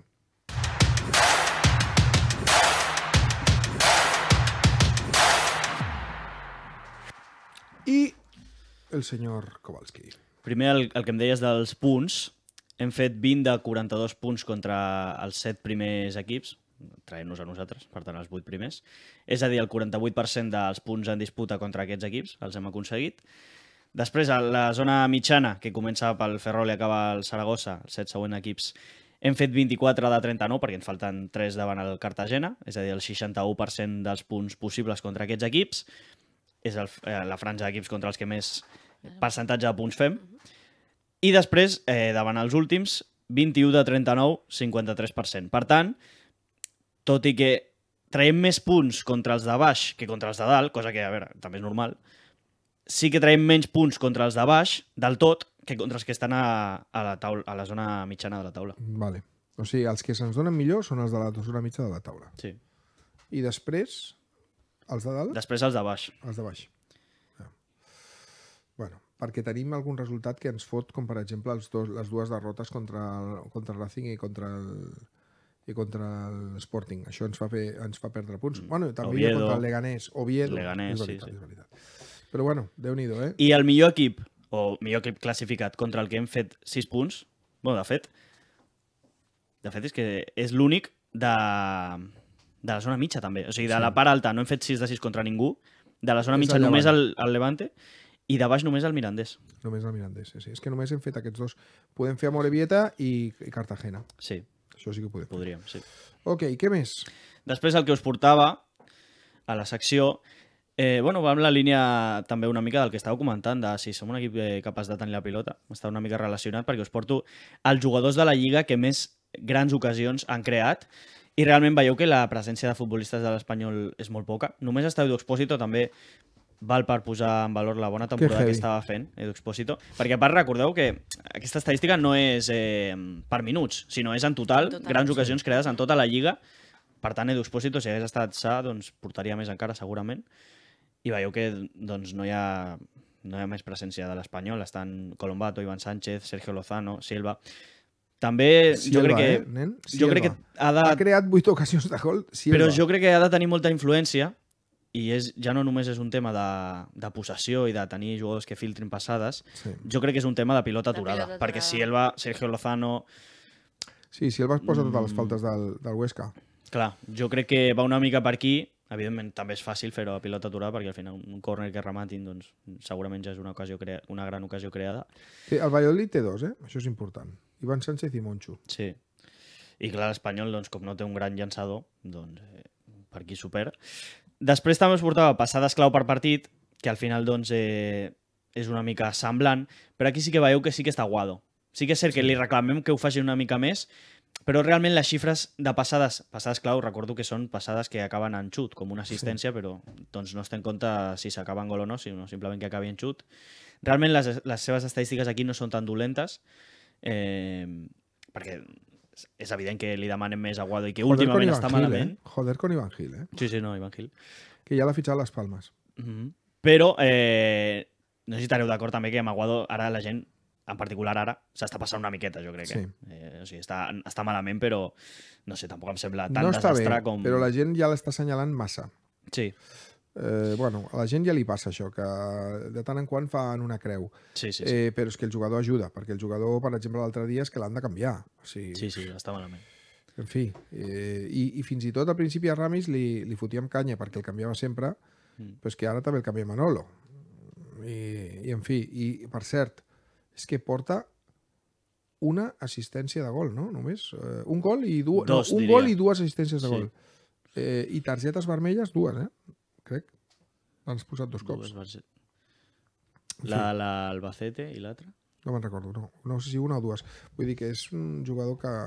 És un, per mi és un, un jugador important eh, la seva baixa forma per com ha incidit a la recta final de l'equip. Per mi. Sí, sí, sí. Per mi. Per mi. Ok, molt bé. Què més? Doncs res més. Perfecte, doncs eh, anem a donar les gràcies a tots aquells que ens donen suport dia rere dia. Avui hem tingut uns quants, he vist un parell de trens del hype, sobretot a l'inici. Vamos allá, venga, vamos, vamos, va. Vinga, Doncs comencem. Vinga, comencem amb Jordi Mejías. Jordi Mejías. També tenim a Álvaro Alonso, 94. Álvaro Alonso, 94. Blindado, 16. Blindado, 16. Martín Chico, 56, a lo, a lo suyo. Ha tornat a regalar una subscripció. El mejor, el mejor és Martín Chico. A Busco Ajax, en aquest cas. Busco Jax. Eh, I límits, I límits, aquest era nou, ho hem dit. sí. També tenim a Alshan, El Xan, vamos. Taxi Perico, 75. Taxi Perico. Marius, 1971. Marius, 1971, claro. Jaif, 9. Jaif Nou. Damien Bir. Damien Bier, fa temps que no el veia. Xavier Llorente. Xavier Llorente.